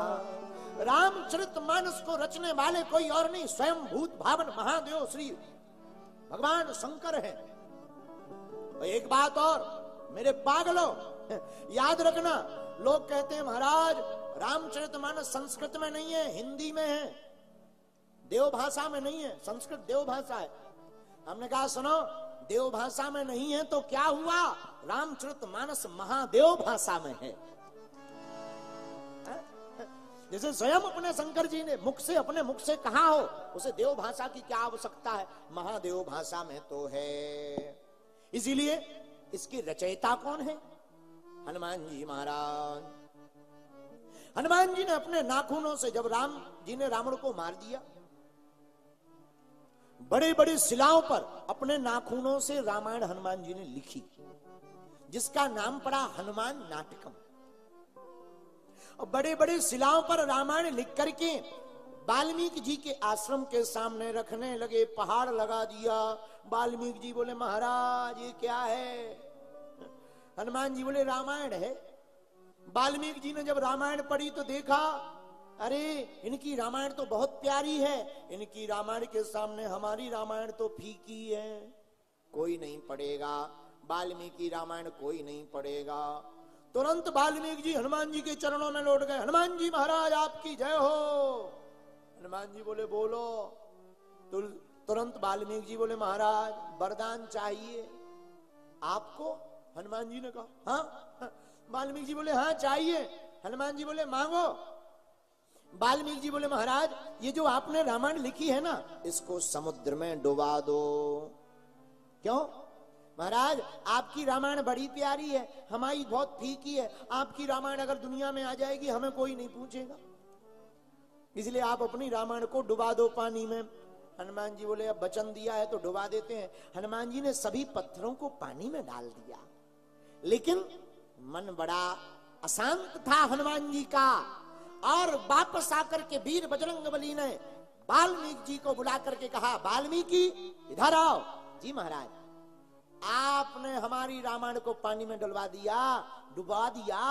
लेकिन हे महर्षि वाल्मीकि जी आपके अंदर ये भावना कलयुग के मनुष्यों जैसी ईर्षा जलन आ गया। हम तुम्हें श्राप देते हैं। इसी रामायण को लिखने के लिए तुम्हें कलयुग में अवतार लेना पड़ेगा।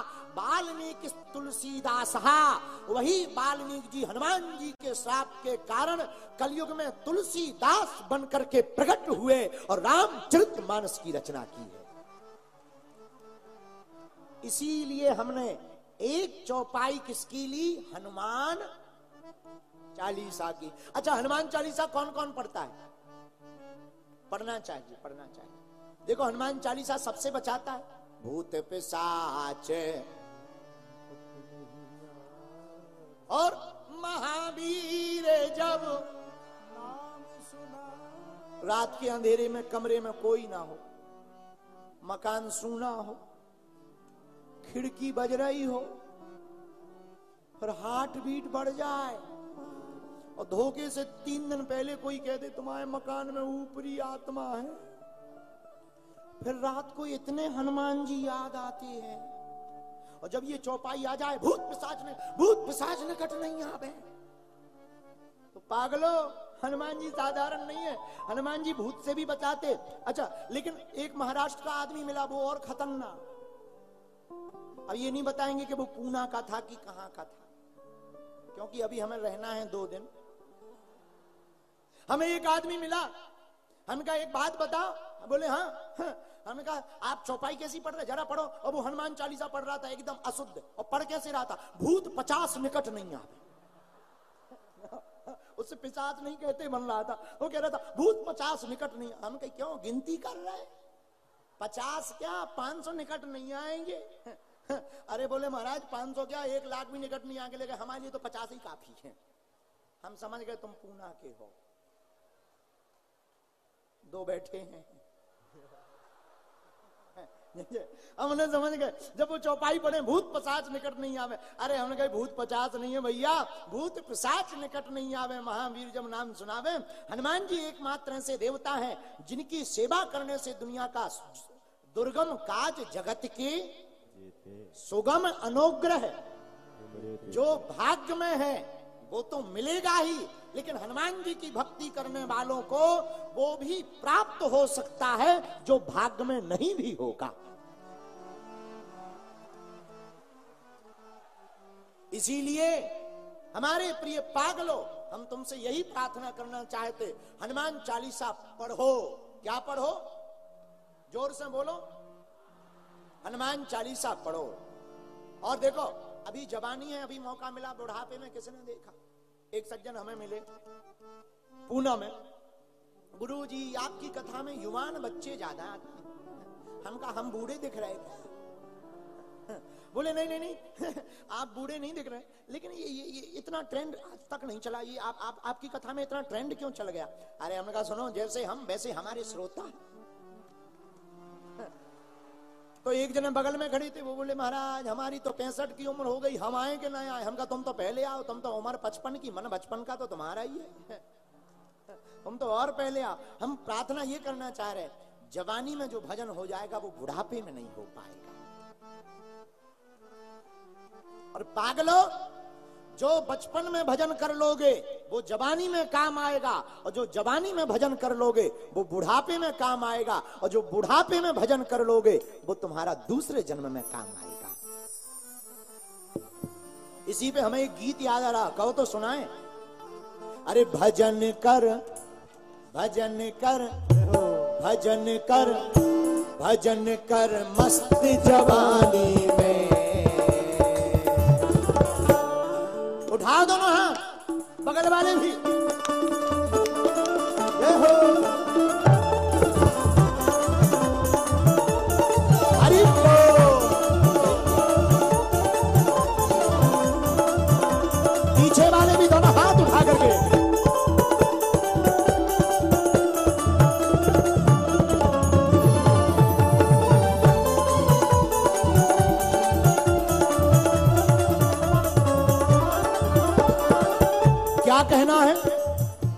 भजन कर हो भजन कर हो भजन कर मस्त जवानी में।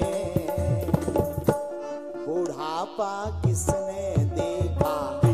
भजन कर मस्त जवानी गाइए बुढ़ापा बोलो किसने देखा? है भजन कर मस्त जवानी में। बुढ़ापा किसने देखा है?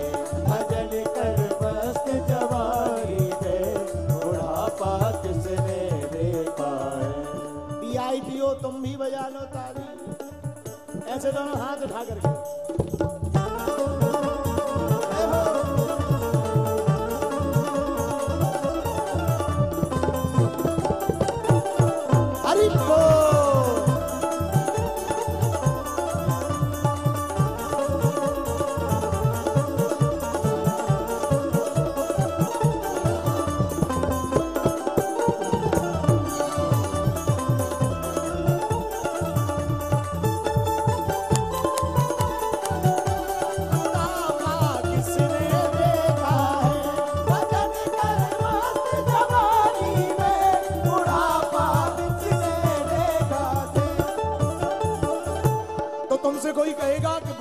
में क्यों ना करें?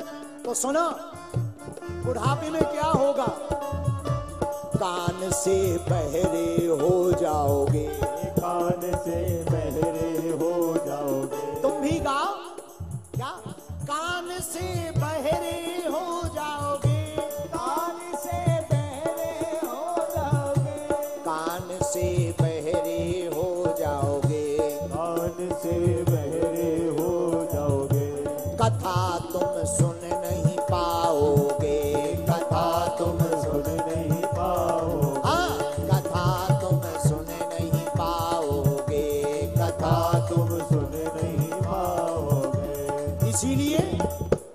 भजन सुन।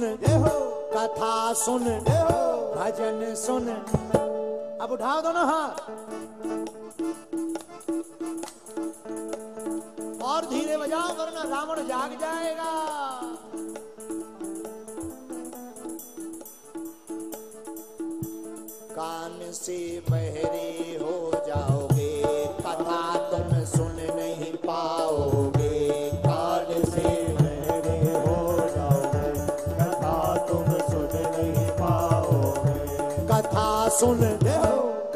सुन कथा सुन मस्त जवानी में। बुढ़ापा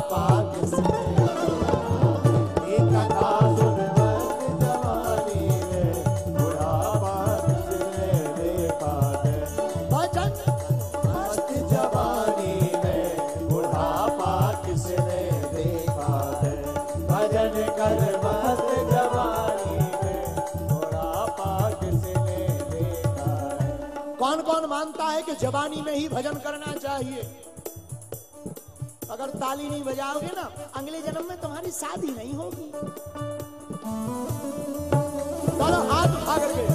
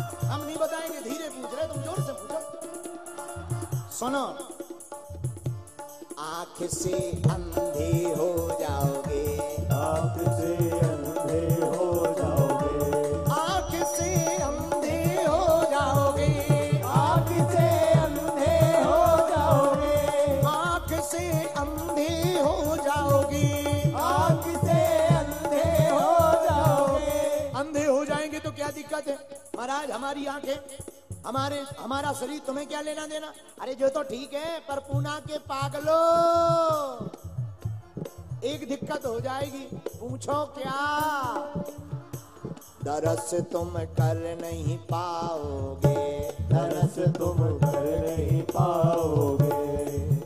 पंडरपुर जाओगे पंडरीनाथ महाराज को नहीं देख पाओगे। संत ज्ञानेश्वर महाराज के दर्शन नहीं कर पाओगे। संत तुकाराम महाराज के दर्शन नहीं कर पाओगे। भीमा शंकर महादेव के दर्शन भी नहीं कर पाओगे। तो बुढ़ापे में क्या होगा? आँख से अंधे हो जाओगे। आँख से अंधे हो तुम कर नहीं पाओगे दरस तुम कर नहीं पाओगे। दरस कर हो दरस कर हो दरस कर मस्त जवानी में। बुढ़ापा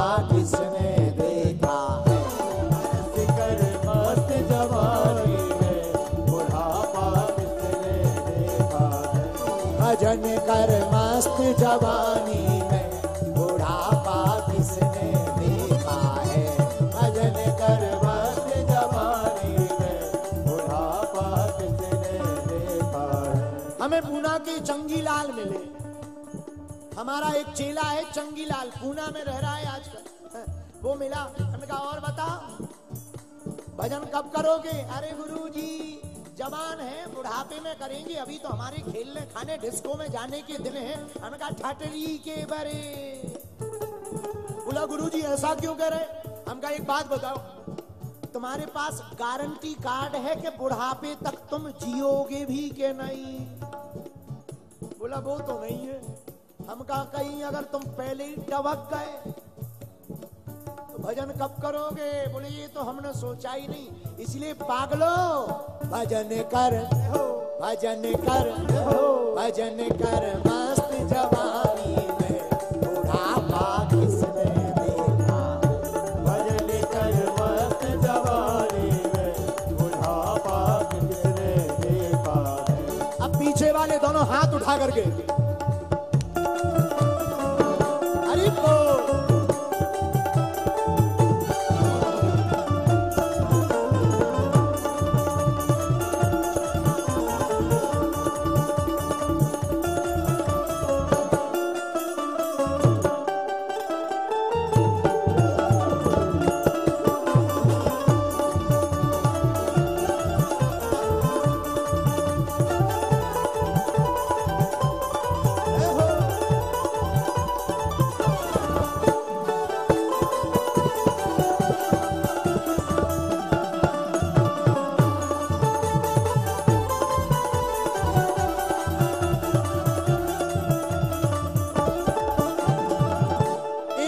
दिक्कत और होगी। पूछो क्या? ज़ोर से पूछो। बुढ़ापे में एक दिक्कत और हो जाती। हाथ से लूले हो जाओगे। हाथ से लूले हो जाओगे। हाथ से लूले हो जाओगे। हाथ से लूले हो जाओगे। अच्छा अगर हाथ से लूले हो गए कपने लगे वाइब्रेशन में। कई लोगों का बुढ़ापे में वाइब्रेशन स्टार्ट हो जाता। है कंपन फिर फिर माला लो माला शरीर कपड़ाओ एक गुड़िया पकड़ो से सीधी नीचे। हाथ से लूले हो जाओगे। हाथ से लूले हो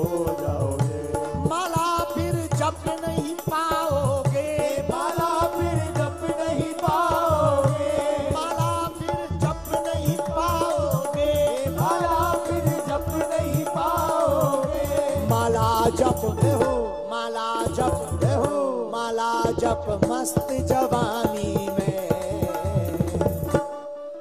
अब काम नहीं चलेगा ऐसे।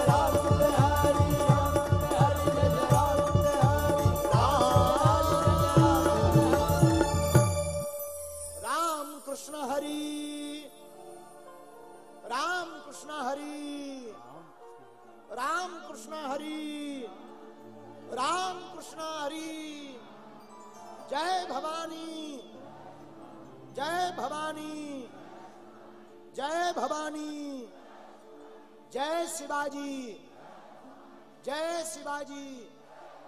जय शिवाजी। जय शिवाजी।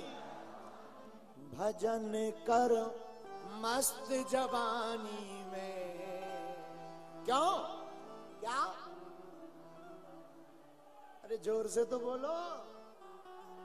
भजन कर।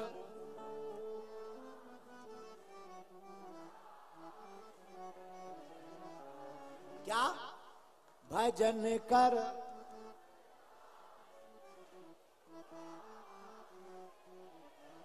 जो गा नहीं रहे ना, अगले जन्म में पड़ोसी बेकार मिलेगा।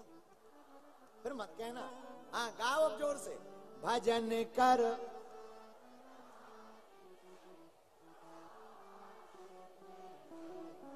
बैठ जाओ।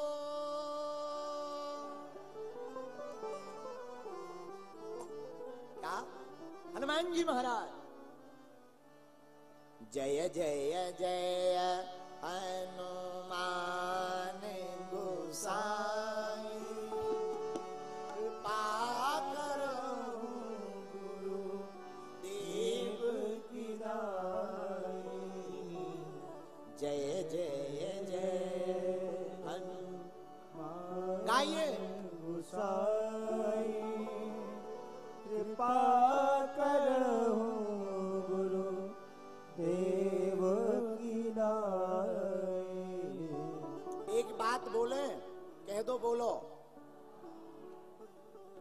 गुरुदेव पत्थर के मील की तरह होते हैं।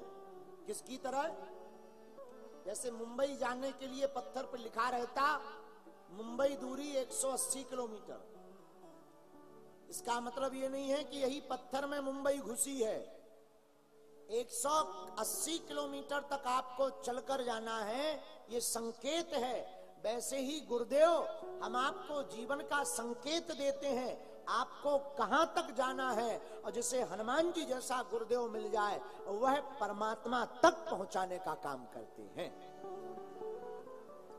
एक बात और बोले? कह दो, बोलो। जिसके ऊपर गुरु की कृपा नहीं होती, उसे परमात्मा में पत्थर दिखाई देता है। लेकिन जिस पर गुरु की कृपा होती है, उसे पत्थर में परमात्मा दिखाई देता है।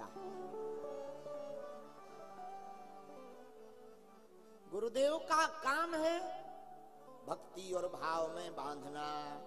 सदगुरु वैद्य सदगुरु वैद्य, बचन विश्वासा।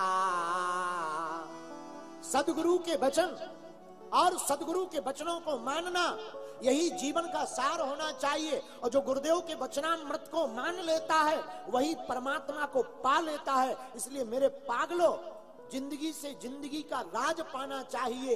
ज़िंदगी में ज़िंदगी को मुस्कुराना चाहिए। ज़िंदगी में अगर ज़िंदगी की शर्त पूरी ना हो तो ज़िंदगी को ज़िंदगी से रूठ जाना चाहिए? और गुरुदेव शर्त पूरी करवाते। हनुमान जी महाराज जैसे सदगुरु, आहा, जिनको प्राप्त हो जाए, जो अपने आप को गुरुदेव श्री हनुमान जी महाराज के हवाले कर दे। अरे उनका तो क्या कहना, माई बाप? भगवान का स्वभाव है। भगवान करुणा रूप में होते हैं। तो आप कहेंगे कि आप हनुमान जी को गुरु रूप में क्यों देखते हैं? क्योंकि हनुमान जी का स्वभाव करुणावान है। गुरु का स्वभाव करुणावान होता है।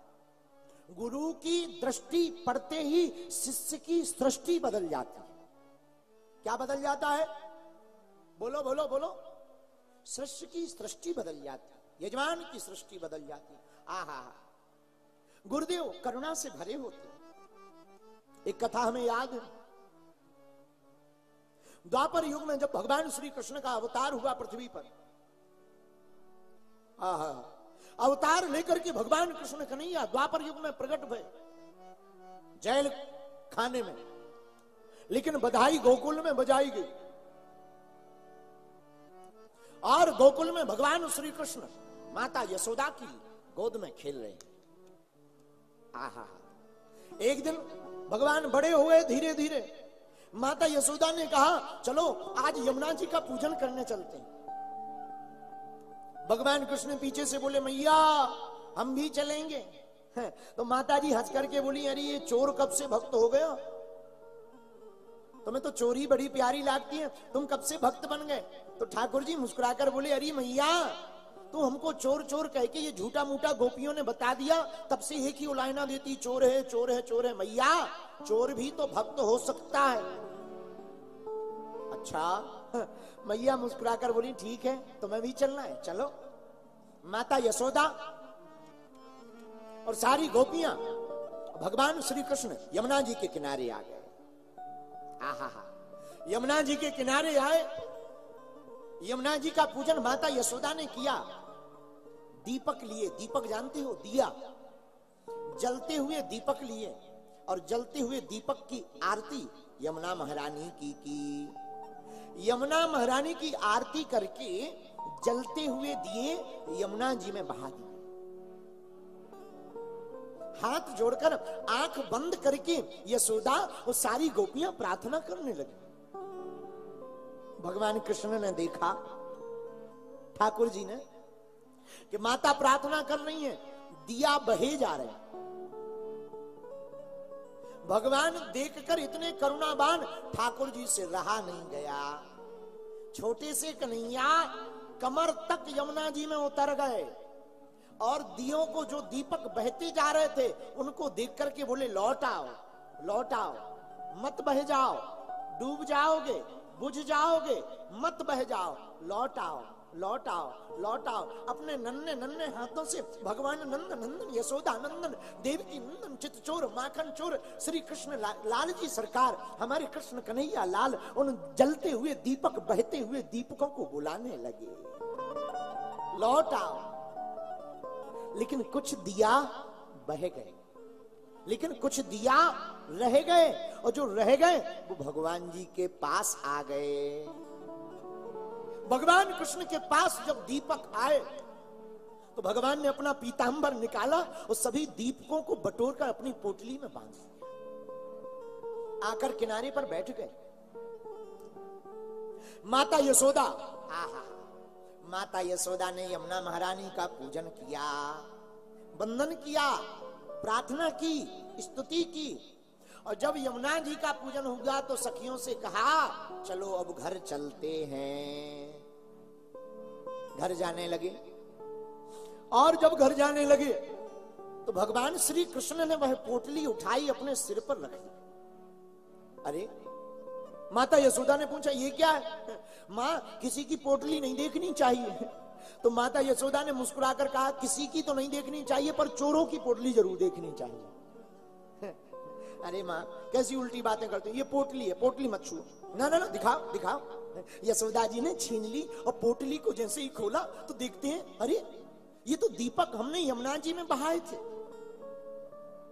तुमने इनको पोटली में क्यों बाँध लिया? हाथ जोड़कर बोले, माँ, हमारा स्वभाव है, हम किसी को बहते हुए नहीं देख सकते। अच्छा तो दीपक इतने थोड़ी थे, और ज़्यादा थे। बाकी दीपक कहाँ गए? ठाकुर जी बोले, माँ, हमने बुलाया तो सबको था, पर कुछ तो बह गए। कुछ रह गए, जो रह गए, उनको हमने पोटली बनाकर अपने सिर पर रख लिया। तो माता यशोदा ने मुस्कुराकर कहा कन्हैया, एक बात बताओ, बड़े भाव पूर्वक लाला, एक बात बताओ, ये पोटली तुमने अपने सिर पर क्यों रखी? भगवान मुस्कुराकर बोले, माँ, जो हमारे पास आ जाता, जो हमारे पास रह जाता, उसका भार फिर अपने सिर पर हम रख लेते हैं। उसका भार हम अपने सिर पर रख लेते हैं। क्यों? हमारे अंदर करुणा है। भगवान, करुणावान है। अच्छा एक बात माँ ने कहा, बेटा, जो बह गए उनका क्या? माँ, ठाकुर जी बोले, माँ, जो बह गए वो बुझ जाएँगे, डूब जाएँगे।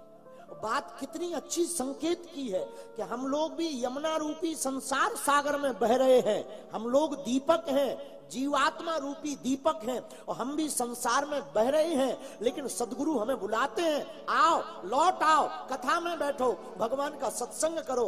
पर कुछ तो आपके जैसे पूना के भाग्यशाली लोग कथा में आकर बैठ जाते हैं। कुछ कथा के बीच से ही वो पूना में रह करके भी भाग जाते हैं। जो भाग जाते वो बुझ जाते हैं और जो कथा में भगवान के पास रह जाते उनका भार परमात्मा अपने सिर पर उठा लेते यह गुरुदेव की भूमिका। मेरे प्रिय पागलों ये गुरुदेव की भूमिका है जो अपने गुरुदेव के चरणों में जुड़ेगा, जो अपने गुरुदेव के चरणों में रह जाएगा, उसका भार फिर उसका नहीं होगा। मेरे पागलों, उस शिष्य का भार उसके गुरुदेव यानी श्री हनुमान जी का हो जाएगा।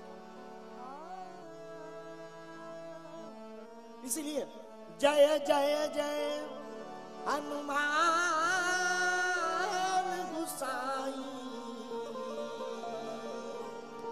कृपा करो गुरुदेव की नाई। कृपा करो। अच्छा महाराज जी, एक बात। जैसे भगवान कृष्ण दीपकों को बुलाने के लिए यमुना में उतर जाते हैं, वैसे ही गुरुदेव अपने शिष्य को बचाने के लिए इस संसार सागर में उतर आते हैं। और फिर वो बनते क्या है? वही परमात्मा जब अपने शिष्य को बचाने के लिए संसार सागर में जन्म लेते हैं, उतर आते हैं, वही संत तुकाराम, वही संत ज्ञानेश्वर बनकर के हम लोगों को बचाने चले आते हैं? ये गुरुदेव की भूमिका है। इसलिए मेरे पागलों, सदगुरु का काम है कल्याण करना। सदगुरु हमारे अंदर के अंधकार को मिटाते गुरुदेव, जो पर्दा पड़ा है, मोह का, माया का, प्रपंच का, छल का, उस पर्दे को मिटाते हम लोगों को लगता है, नहीं नहीं नहीं, कथा में जो गुरुजी कह रहे हैं, वो तो सही है, लेकिन दुनियादारी के काम भी ठीक हैं। बात सही है, जो पीने वाले लोग हैं, उन्हें पीना ही अच्छा लगता अब उन्हें क्या समझाए? कितना भी समझा वो कहा, अरे ठीक है, ले ले ले, दो। और पीने वाले लोग बड़े खतरनाक होते हैं। एक बार एक पीने वाला आदमी पूना के डॉक्टर के पास गया चंगी लाल दांत में दर्द। डॉक्टर ने कहा, भाई, दांत निकालना पड़ेगा। तो व्यक्ति ने कहा, निकाल दो। तो डॉक्टर ने कहा, अब क्या बताएँ, दांत तो निकाल देंगे हम, लेकिन आज हमारे पास सुन्नपन करने का इंजेक्शन नहीं है। जिससे दर्द ना हो, वो इंजेक्शन नहीं। एक बात बताओ, पीते हो? चंगीलाल बोला, पीते तो हैं। डॉक्टर ने कहा, रोज तो ये आदत में पीते, आज काम के लिए पिवाएँ इसको। ताकि दर्द भी ना हो, दांत भी निकल जाए, इसका पीना भी सार्थक हो जाए। पैक मंगवाया, पियो। उसने एक पैक लगाया। असर हुआ, दर्द हो रहा, बोले, अभी तो हो रहा, डॉक्टर साहब। एक पैक और लिया। फिर से संसी मारी दांत में दर्द हो रहा हाँ थोड़ा थोड़ा और हो रहा। तीसरा पैक दिया, अब हो रहा। और जैसे ही तीसरा पैक दिया, बोले, अब हम देखते हैं किसके बाप में दम है जो हमारा दांत निकाले।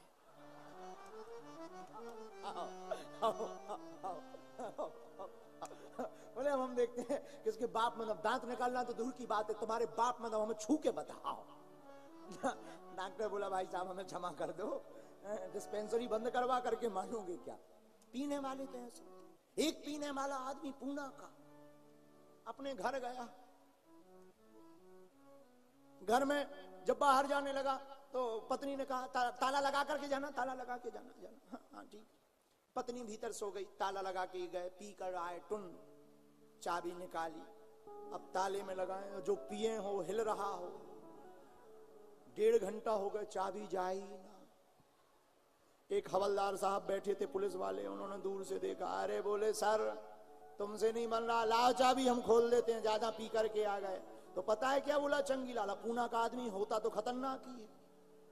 अरे बोला पुलिस वाले साहब, रुको रुको रुको, तुम चाबी मत लो, मकान हिल रहा है, तुम मकान को पकड़ो, हम ताला में लगाना चाहते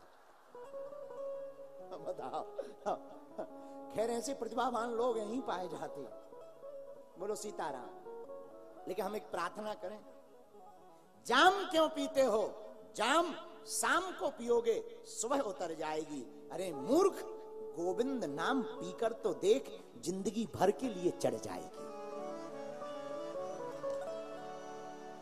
पीना ही है तो भगवान की भक्ति पियो। भगवान नाम रस पियो। तो आप कहोगे, महाराज, किसी ने पिया आज तक जिन्हें चढ़ा हो? महाराज, तुम्हारी जाम कितनी भी महँगी क्वालिटी की हो, सुबह उतर ही जाती है। लेकिन हमारे राम नाम का रस इतना प्यारा है, मीरा ने एक बार पिया था, पूरी ज़िंदगी चढ़ी रही। है? नामदेव जी, आहा, कीर्तनिया कर करके नामदेव जी ने प्रभु को रिझा लिया। महाराज, ये राम नाम रस इतना अद्भुत है, जिसके सामने सब रस फीके पड़ जाते हैं। इसलिए मीरा, महलों में पड़ी बन के जोगन चली। मीरा रानी, दीवानी, कहानी लगी, ऐसी लागी लगन। मीरा हो गई मगन, वो तो गली गली हरी गुन गाने लगी। ऐसी लागी लगन लागी लागी रे लगन लागी लागी रे लगन लागी लागी और मीराबाई बैठी संतों के संग रंगी मोहन के रंग बैठी संतों के संग बोलो। रंगी मोहन के रंग। बैठी संतों के संग रंगी मोहन के रंग बैठी संतों के संग। रंगी मोहन के रंग। मेरा प्रेमी प्रीतम को मनाने लगी। वो तो गली गली हरी गाने लगी। ऐसी लागी लगन मीरा हो गई। मीरा हो गई मगन। वो तो गली गली हरी गुण मीरा भाई को राम नाम रस का प्याला चढ़ा। मेरे पागलो, जिसे राम नाम रस का प्याला चढ़ जाता है, वही ज़िंदगी में परम पद को पा जाता है और जीते जी परमात्मा का हो जाता है। यह काम सदगुरु का, लेकिन हम फिर कहेंगे यही काम किसका है? सदगुरु का। सदगुरु का काम है हृदय में भक्ति जगाना। और हमारे हनुमान जी महाराज तो राम दुआरे तुम रखवारे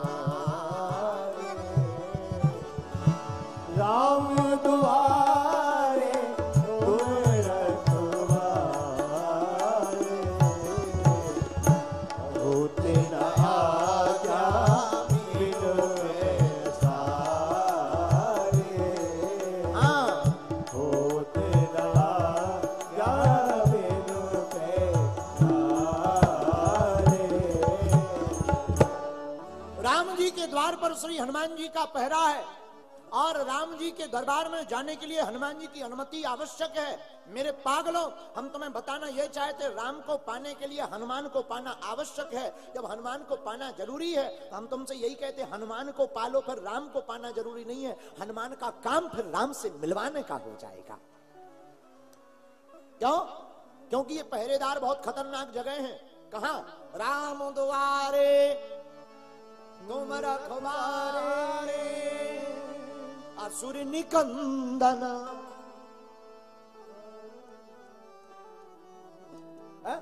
हनुमान जी महाराज राम द्वारे तुम रखवारे और होते न आज्ञा। बिन पैसारे। पैसारे पे हमें याद आया। हमने एक आदमी से कहा क्यों तुम अधिकारी होकर के घूस क्यों लेते हो? बोला गुरुजी हनुमान चालीसा की दम पर। अब ये नहीं बताएँगे कि वो यहीं का था। हमने कहा, हनुमान चालीसा की दम पर, हनुमान चालीसा में घूस लेना कहा लिखा है? बोले, वाह चौपाई है ना, होत ना आज्ञा बिन पैसारी है। होत ना आज्ञा? अरे, हमने कहा, तुम्हारी ठटरी पर है? तुमने अर्थ का अनर्थ कर दिया। अरे अरे भैया, बिना हनुमान जी की आज्ञा के बिना प्रभु श्री राम प्राप्त नहीं होते, याद रखना, भगवान की प्राप्ति तो अप्राप्त की प्राप्ति। भगवान की प्राप्ति, अप्राप्त की प्राप्ति है।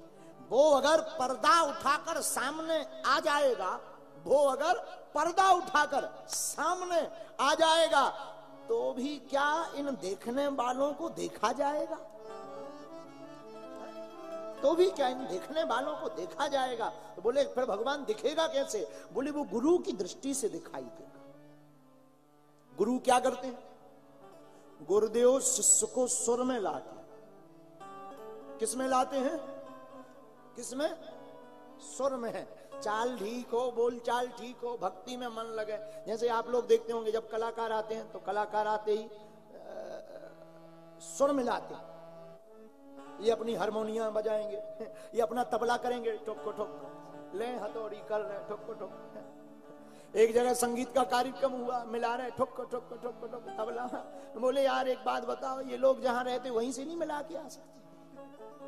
जहाँ रहते वहाँ से नहीं मिला के आ सकते, वो तो जहाँ बजाएँगे वहीं मिलाएँगे। तो ये लोग तबला। अच्छा आपने देखा होगा संगीत वालों के पास में, अब इनके पास तो नहीं है, पर संगीत वालों के पास में एक बीना होता है बीना तार वाला उसके कान उमेठे जाते कान उमेठो तो वो सही बोलता है। और ये कान बीड़ा क्या है? ये बीड़ा हम लोगों के कान है। गुरुदेव, जब हमारे कान उमेठते हैं, तब शिष्य सही बोलता है।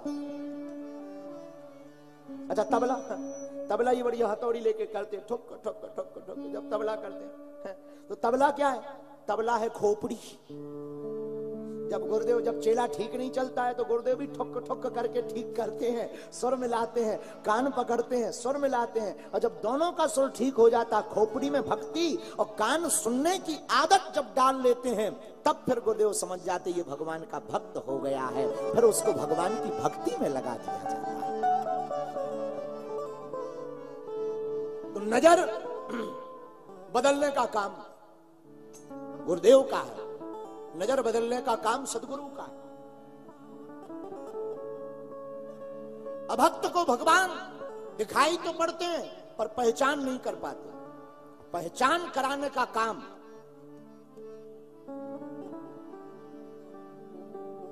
गुरुदेव का होता है। पहचान होती है बड़ी मुश्किल से। आदमी बनता है इंसान बड़ी मुश्किल से। परमात्मा की पहचान होती है बड़ी मुश्किल से। बड़ी मुश्किल से परमात्मा की पहचान। अरे, हम लोग, तुम लोग तो जीव हैं। रामचरितमानस में माता, सती भी भगवान को नहीं पहचान पाए भगवान, शंकर और माता, सती। दोनों कुंभज ऋषि के पास से कथा सुनकर के निकले। भगवान श्री राम राजकुमार रूप में माता सीता के हरण के बाद बन ही बन में घूम रहे। जैसे ही भगवान शंकर ने देखा, पहचान गए। जय सच्चिदानंद, प्रभु श्री राम है। लेकिन भगवान शंकर तो पहचान गए, पर सती नहीं पहचान पाए उन्हें राम जी में भी राजकुमार दिखाई दे रहे। सती को राम जी में राजकुमार दिखाई पड़ रहे क्यों? सती ने कथा तो सुनी, पर ध्यान से नहीं सुनी। अगर ध्यान से कथा सुनी होती तो राजकुमार में राम दिखाई पड़ते, लेकिन कथा ध्यान से नहीं सुनी तो राम में राजकुमार दिखाई पड़ रहे यही नज़र है। जैसे अर्जुन से पूछा, आपको मछली में क्या दिख रहा? ऊपर क्या दिख रहा? घूमता हुआ। अर्जुन बोले, हमें तो मछली की आँख दिख रही। क्यों? क्योंकि निशाना तो हमें आँख में लगाना अर्जुन को मछली की आँख दिखाई पड़ रही। जिस प्रकार भक्त को केवल भगवान दिखाई पड़ता है, जिस प्रकार अंधे को सिर्फ़ उजाले का उजाले का शब्द नाद सुनाई पड़ता है, उसी प्रकार मेरे पागलो, गुरुदेव के शिष्य को केवल गुरुदेव दिखाई पड़ता है। तब गुरुदेव नज़र बदल देते हैं और दिशा और दशा दोनों बदल जाती माता सती को भ्रम हो गया। एक बार त्रेता युग माही शंभु गए, कुंभज ऋषि पाही। त्रेता युग में भगवान शंकर जब कुंभज ऋषि के पास कथा श्रवण करने जाते तो ध्यान से सती कथा नहीं सुन पाती। और मेरे पागलो, कथा में बैठना बड़ी बात नहीं है। कथा तुम्हारे अंदर बैठ जाए, ये बहुत बड़ी बात है। कथा में तो बहुत लोग बैठे हैं। कुछ लोग बैठे भी हैं, कुछ लोग खड़े भी हैं। पर बैठना बड़ी बात नहीं है, लेकिन कथा तुम्हारे अंदर बैठ जाए, ये बहुत बड़ी बात है। लेकिन कथा अंदर बैठना बहुत मुश्किल से होती है, और जिसके अंदर कथा भगवान की बैठ जाती है, उसकी वृथा सदा सदा के लिए मिट जाती है। लेकिन श्रोता भी कम थोड़ी होते हैं। श्रोता कई प्रकार के होते हैं। एक श्रोता आते हैं, घर से आएँगे, कथा में बढ़िया कुर्सी देखेंगे, बैठ जाए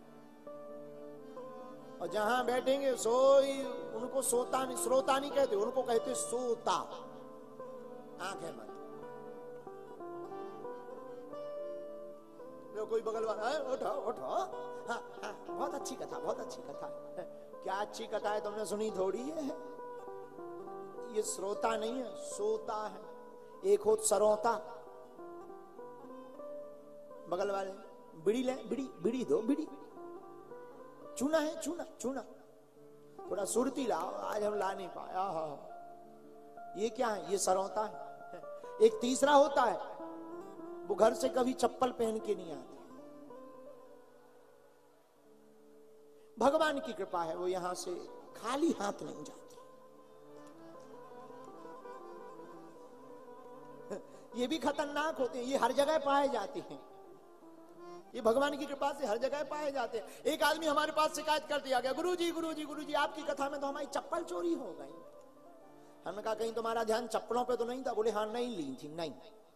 हम कहा, इसीलिए भगवान ने हरण कर लिया। अब बात बनानी थी।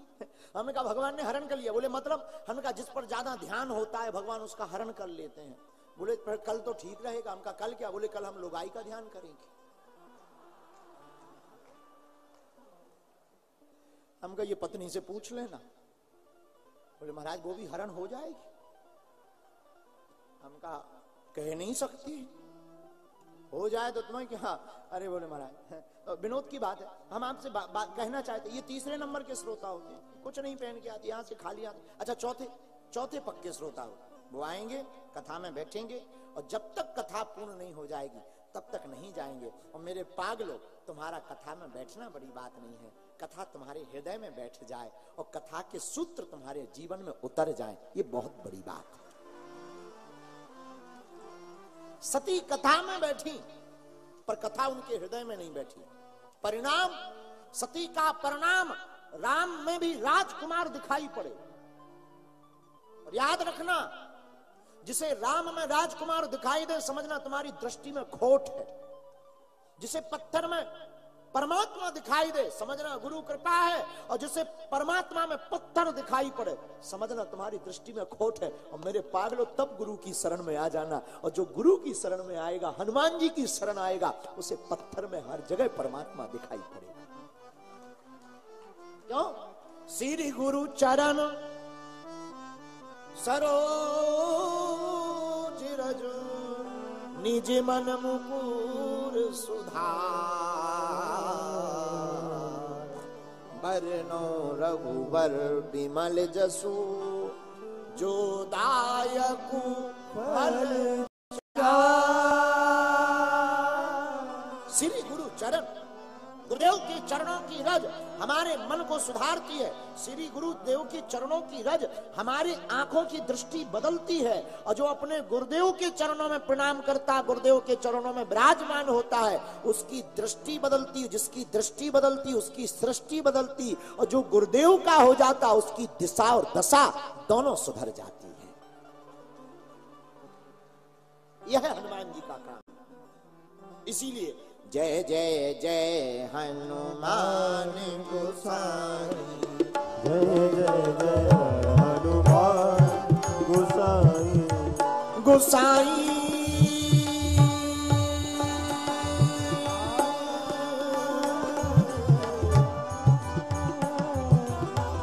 करो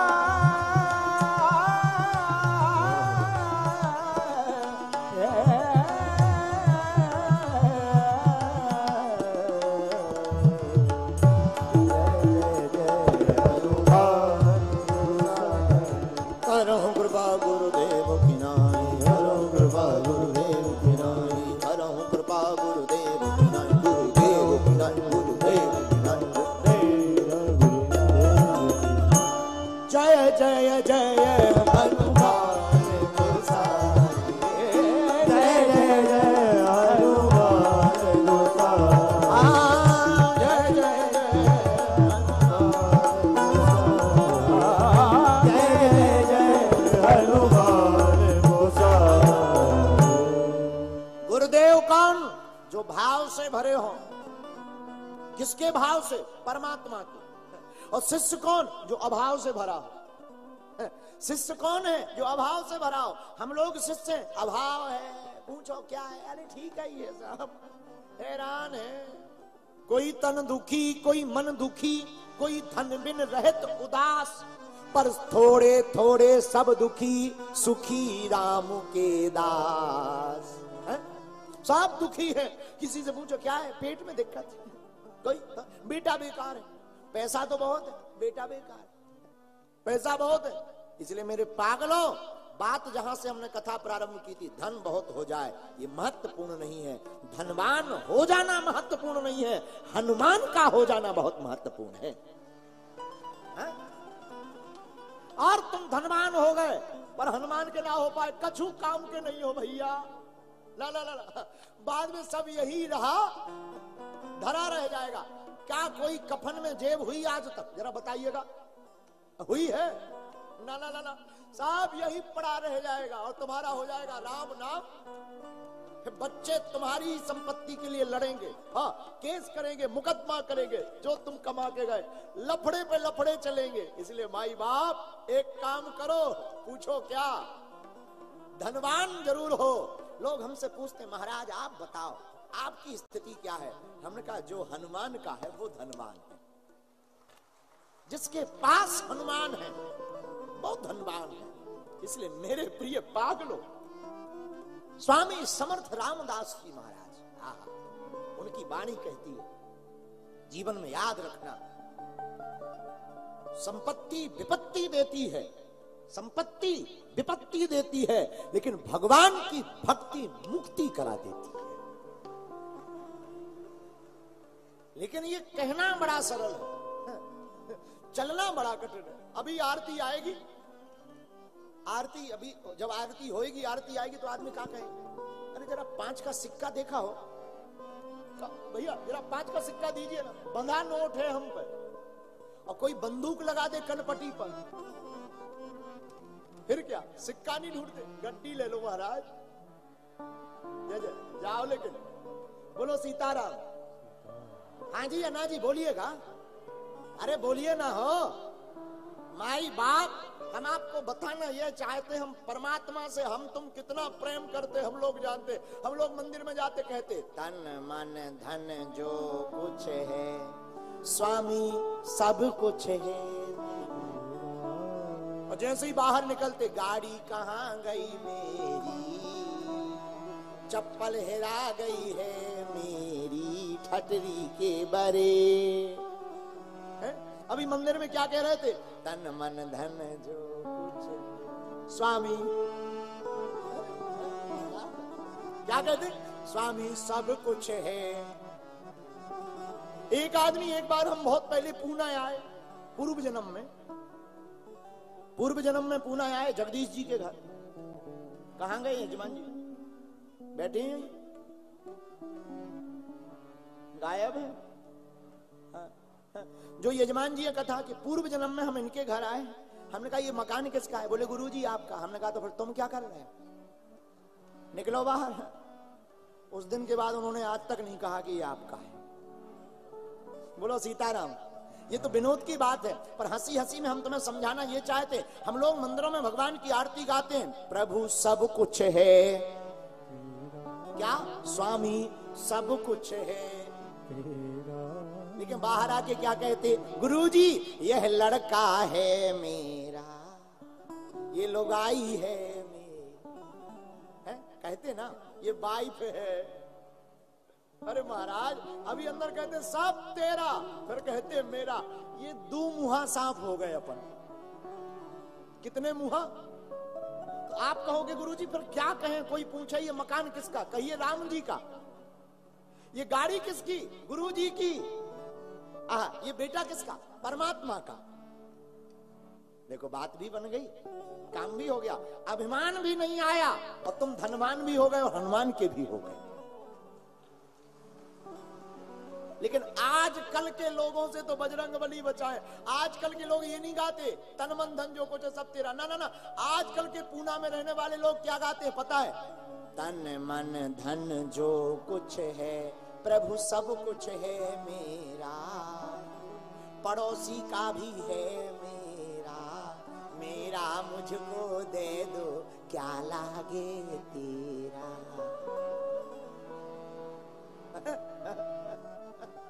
बताओ, हमारा, ये हाल है आजकल। लेकिन मेरे प्रिय आत्मा, ये तो विनोद की बात। हम आपको बताना ये चाह रहे हैं, इस दुनिया में जो है, हमारा कुछ नहीं। किसका है? बोलिए ना। किसका है? राम जी का है। लेकिन ये दृष्टि कब आएगी? जय जय जय। हनुमान कृपा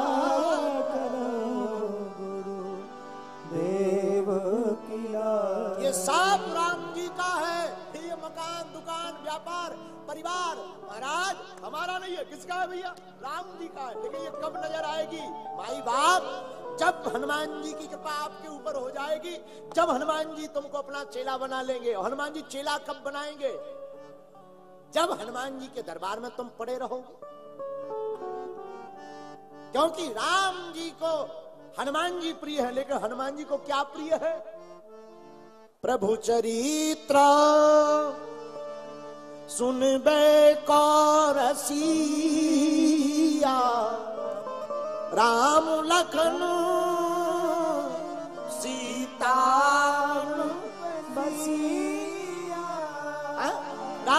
को अगर हनुमान जी प्रिय है तो हनुमान जी को राम चरित्र प्रिय है। और याद रखना, मेरे पागलो राम चरित्र का मतलब तुम रामायण मत पढ़ना। ना ना ना ना, रामायण पढ़ करके अपने जीवन में राम का चरित्र उतारना, वही हनुमान जी को प्रिय है। हाँ बहुत लोग हमको मिलते, क्या कर दिए भैया? गुरुजी, हम तो हनुमान चालीसा ठोक दिए। क्या किए हनुमान चालीसा पढ़ लिए। अरे, पढ़ते थोड़ी हो, बुद्धू बनाते हो, रटते हो। तेल लगा रहे फाउंडेशन पॉन्स क्रीम ठोक रहे? जय हनुमान ज्ञान गण सागर। पाउडर लगा रहे, भूत पिशाच निकट नहीं आवे। जरा कंघा लाइएगा। ये पढ़ना नहीं है, ये रटना है। और पढ़ना क्या? बढ़िया पुस्तक लेकर के बैठिएगा और हनुमान चालीसा में भी लिखा। क्या? जो यह पढ़े। क्या लिखा? रटे नहीं लिखा है कि जो रटे कई लोग तो बाथरूम में लगा रहे लक्स साबुन। जय हनुमान ज्ञान गुण सागर ठटरी के भरे। अगर बजरंग बली प्रकट हो गए ना तो नानी याद आ जाएगी। हाँ हाँ अगर बाथरूम में हनुमान जी प्रकट हो जाए ना ना ना ना, ना फिर का नानी याद आ जाएगी। फिर बिना जल चढ़ा ही बाहर आ जाओगे। बोलो सीताराम। महाराज, हनुमान चालीसा पढ़ो, भारत के लोगों पढ़ो, बच्चों को भी पढ़ाओ, बेटा को भी पढ़ाओ, बेटी को भी पढ़ाओ, कथा सुनवाओ, ज्ञानेश्वरी गीता पढ़वाओ, छत्रपति शिवाजी का चरित्र पढ़वाओ, तुम्हारा बच्चा धनवान भी होगा, हनुमान का भी होगा, ज्ञानवान भी होगा, बुद्धिमान भी होगा और बलवान भी होगा।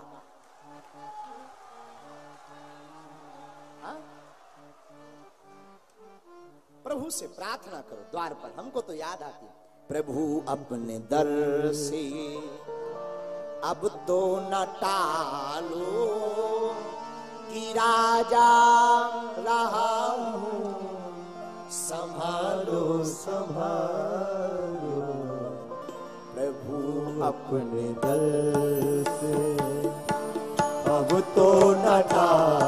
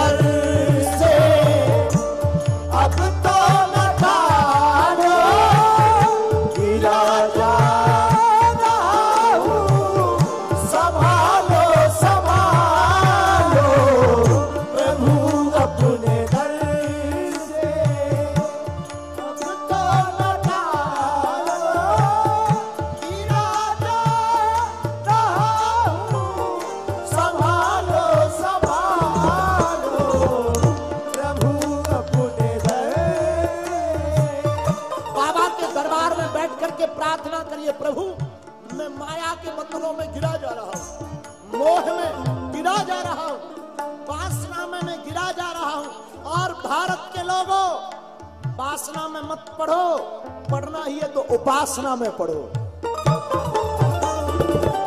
उठाओ दोनों हाथ।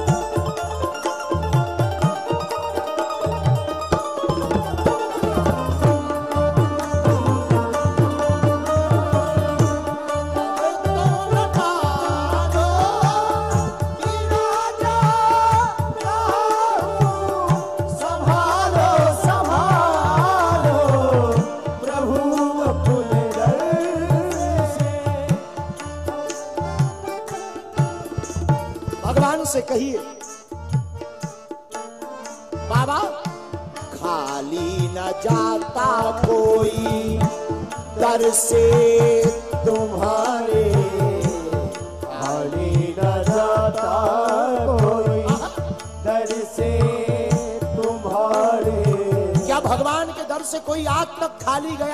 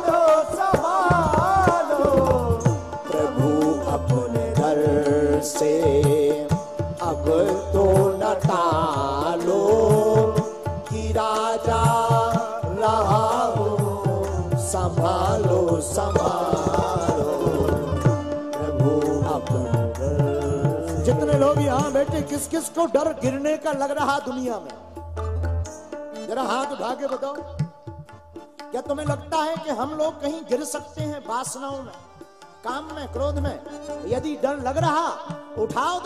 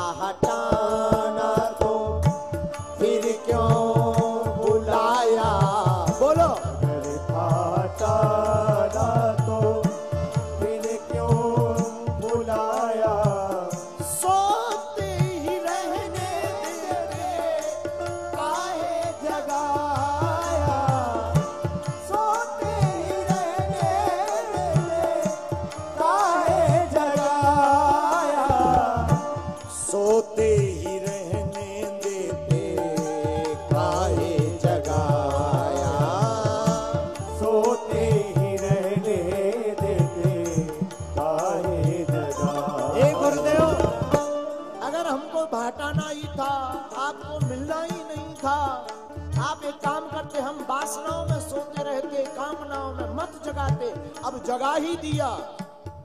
तो एक काम करो, भगवान पूछेंगे, क्या? तो कहना, अब जब जगाया तो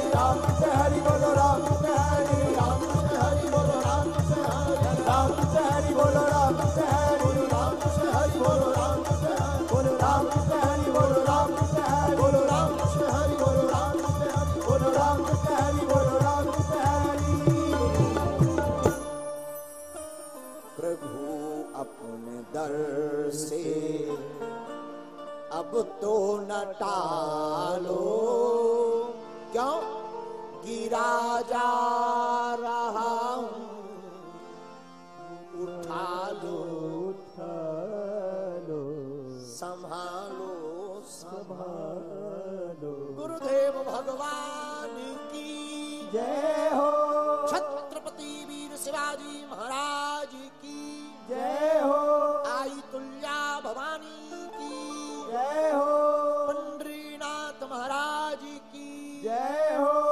पुणे के सभी पागलों की। जय हो। जय जय जय। हनुमान गोसाई। कृपा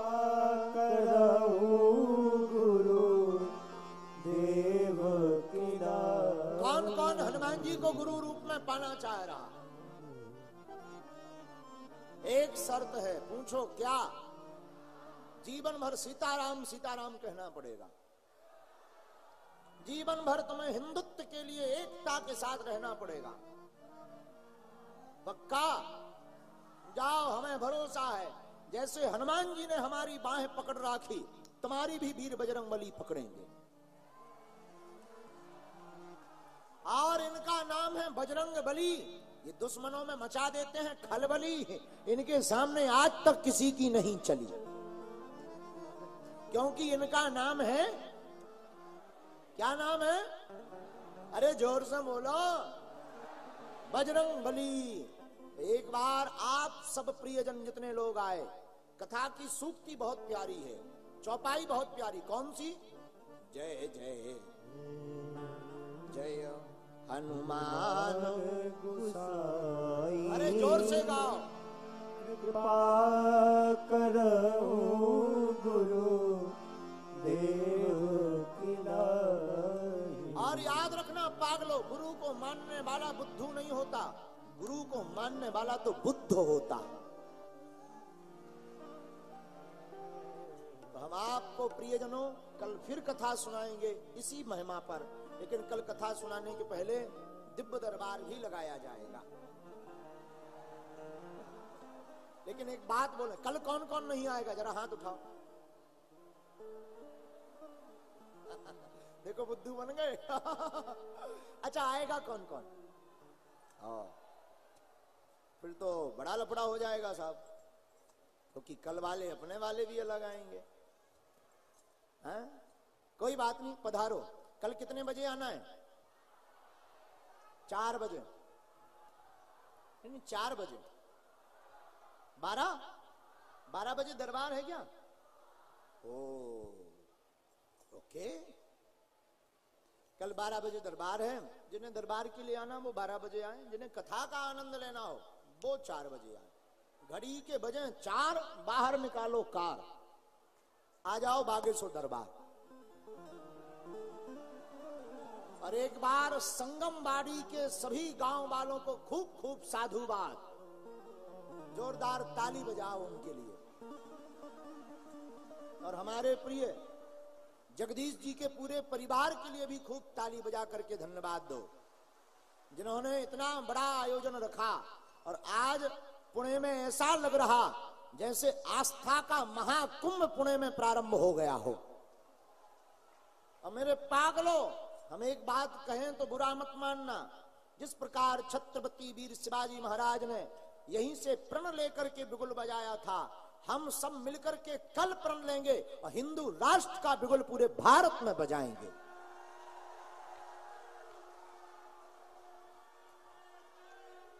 जय भवानी, जय शिवाजी जय शिवाजी, जय भवानी। जय भवानी। जय शिवाजी। कल हम लोग पधारेंगे, कल दरबार भी है, कथा भी है, और खूब मुस्कुराया करो, है? क्या किया करो? हंसा करो, हंसाया करो। बागेश्वर धाम अपने बाप का घर है, आया जाया करो। और हनुमान जी की बड़ी कृपा। देखो, हमें तो बागेश्वर बालाजी ने तुमको उनके लिए पागल बनाने के लिए भेजा है। अब तुम उनके हो जाओ। अच्छा बागेश्वर धाम गया है कोई? नहीं? इसका मतलब तुम जाने वाले भी नहीं हो? अच्छा आने वाले हो? साक्षात हनुमान जी विराजमान है, माई बाप। अद्भुत स्थान है। बालाजी के दर्शन ज़रूर करो और खूब प्रेम पूर्वक रहो। आज चार रोटी ज़्यादा खाना, कल समय पे आना। आज चार रोटी ज़्यादा खाना, कल लेकिन समय पे आना। तो कल दिन दिन में दरबार, शाम को फिर चार बजे कथा प्रेम पूर्वक हम लोग इसी चौपाई पर कौन सी चौपाई? जय जय जय। हनुमान गोसाई और कृपा करहु गुरु देव की जैसे गुरुदेव कृपा अपने शिष्य पर करते हे हनुमान जी महाराज आप हम सबके ऊपर गुरु की भांति कृपा करो। इन्हीं भाव शब्दों के साथ आज की वाणी को हनुमान जी के चरणों में प्रणाम करते हुए, श्री सीताराम नाम भगवान का जप करते हुए, पंडरीनाथ महाराज को प्रणाम करते हुए, भीमा शंकर महादेव को प्रणाम करते हुए, प्रभु से प्रार्थना करते हैं कि आप सब ऐसे ही मुस्कुराते रहो, गाते रहो। माझा देव पांडुरंग। माझा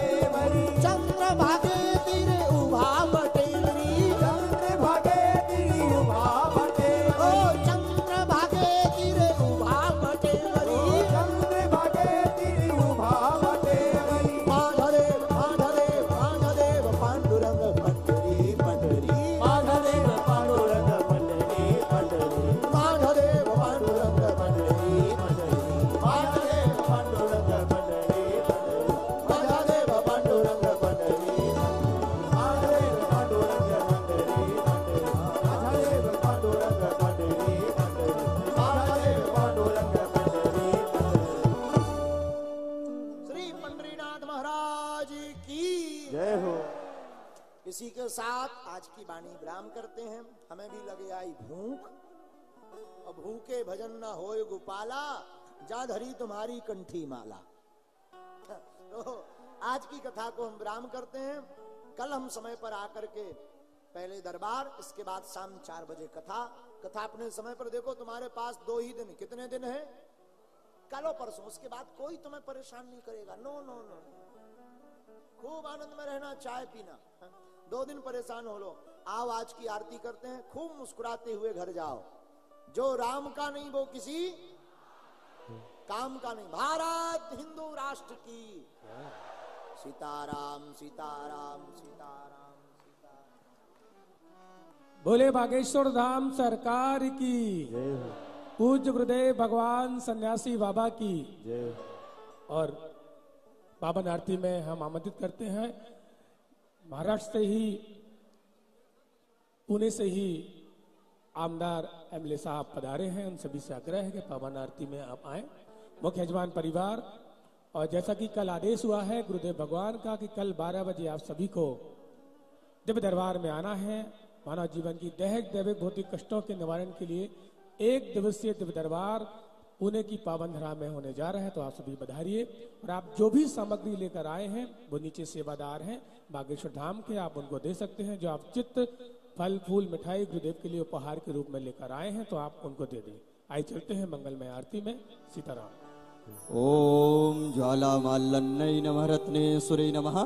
सर्वोपचारार्थे गन्धक्षत्पुष्पाणि समर्पयामि। हरिः ॐ चन्द्रमा मनसो जातपिसोः सूर्यो अजायता स्रोतद्वाय सुप्राणस्य मुखादग्निरजायत। आरती हनुमत प्यारे की, पवन सुत राम दुलारे की। आरती हनुमत प्यारे की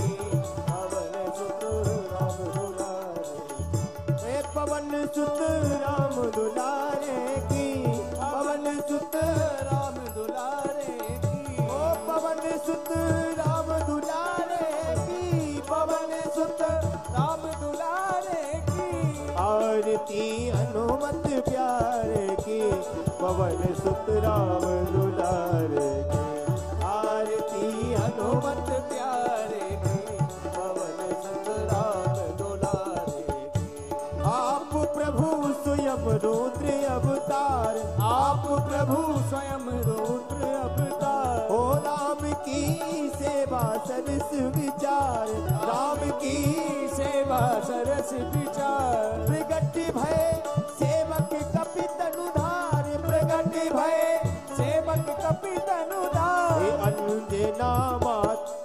तान हरस बली जान, कीर्ति कपि कुल उजियार की पवन सुत राम दुलार की, आरती हनुमत प्यारे की पवन सुत राम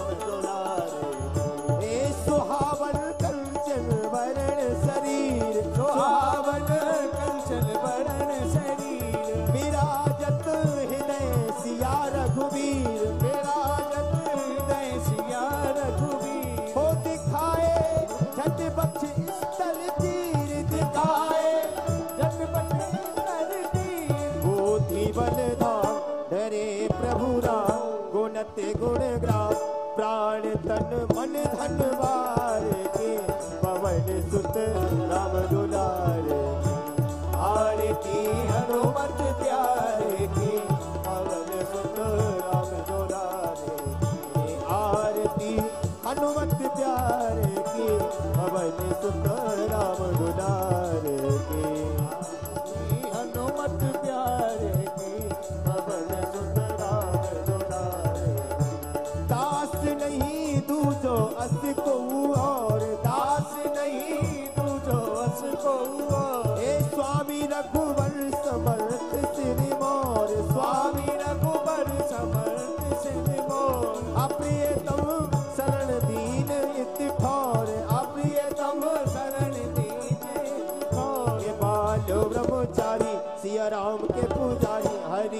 भंडारी संत भक्तन रखवारे के पवन सुत राम दुलारे आरती हनुमत प्यारे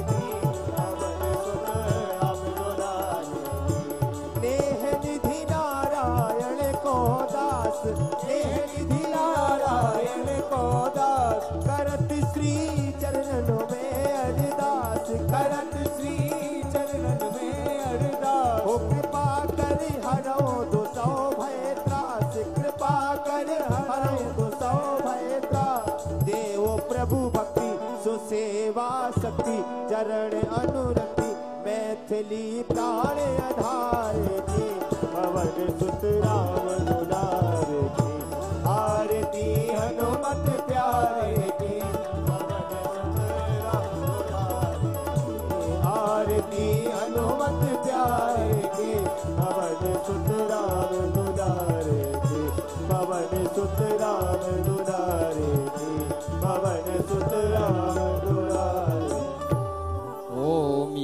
कानि च पापानि जन्मान्तरकृतानि च तानि सर्वाणि। नश्यन्तो प्रदक्षिणायां पदे पदे जलेन शीतले गणनं शीतले त्वं जगन्माता शीतले त्वं जगत्पिता शीतले त्वं जगद्धात्री, शीतलाय नमो नमः। देवाधिवन्दनम् आत्माधिवन्दनं, पुष्पाधिवन्दनं। हरिः ओं मन्त्रपुष्पाञ्जलं हरिः ओं जगेन जगमय जन्तदेवस्तानि धर्माणि। प्रथमान्यासन्नतेः नाकं महिमाना सचन्त्र जत्र पूर्वे सद्यशन्ति देवा। हरि ओम्। एकदन्ताय विद्महे वक्रतुण्डाय धीमहि तन्नो श्रीदन्ती प्रचोदयात्। हरि ओम्। तत्पुरुषाय विद्महे महादेवाय धीमहि तन्नो श्रीरुद्रः प्रचोदयात् हरि ओम् अञ्जनीनन्दनाय विद्महे वायुपुत्राय धीमहि तन्नो श्रीहनुमत् प्रचोदयात् नानासुगन्धपुष्पाणि यथा कालोद्भवानि च पुष्पाञ्जलर्मया दत्तो ग्रहण परमेश्वर श्री सीतारामाभ्यं नमः ॐ हम हनुमते नमः मन्त्र पुष्पाञ्जलं समर्पयामि बागेश्वर धाम की जय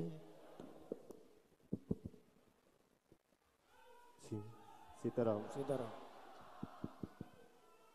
आप सभी से आग्रह है कि आप वहीं से प्रणाम करके आप स्थान करेंगे। सभी हमारे जो अतिथि हैं, ब्राह्मण देवता हैं, सभी से आग्रह है कि आप वहीं से प्रणाम करके आप सभी पावन मंच से प्रस्थान करेंगे। और कल दिव्य दरबार में आप सभी बारह बजे यहाँ पहुँचे। आपकी जो भी समस्याएँ हैं, समस्याएँ आपको किसी को बताना नहीं है, केवल राम राम का जाप करना है।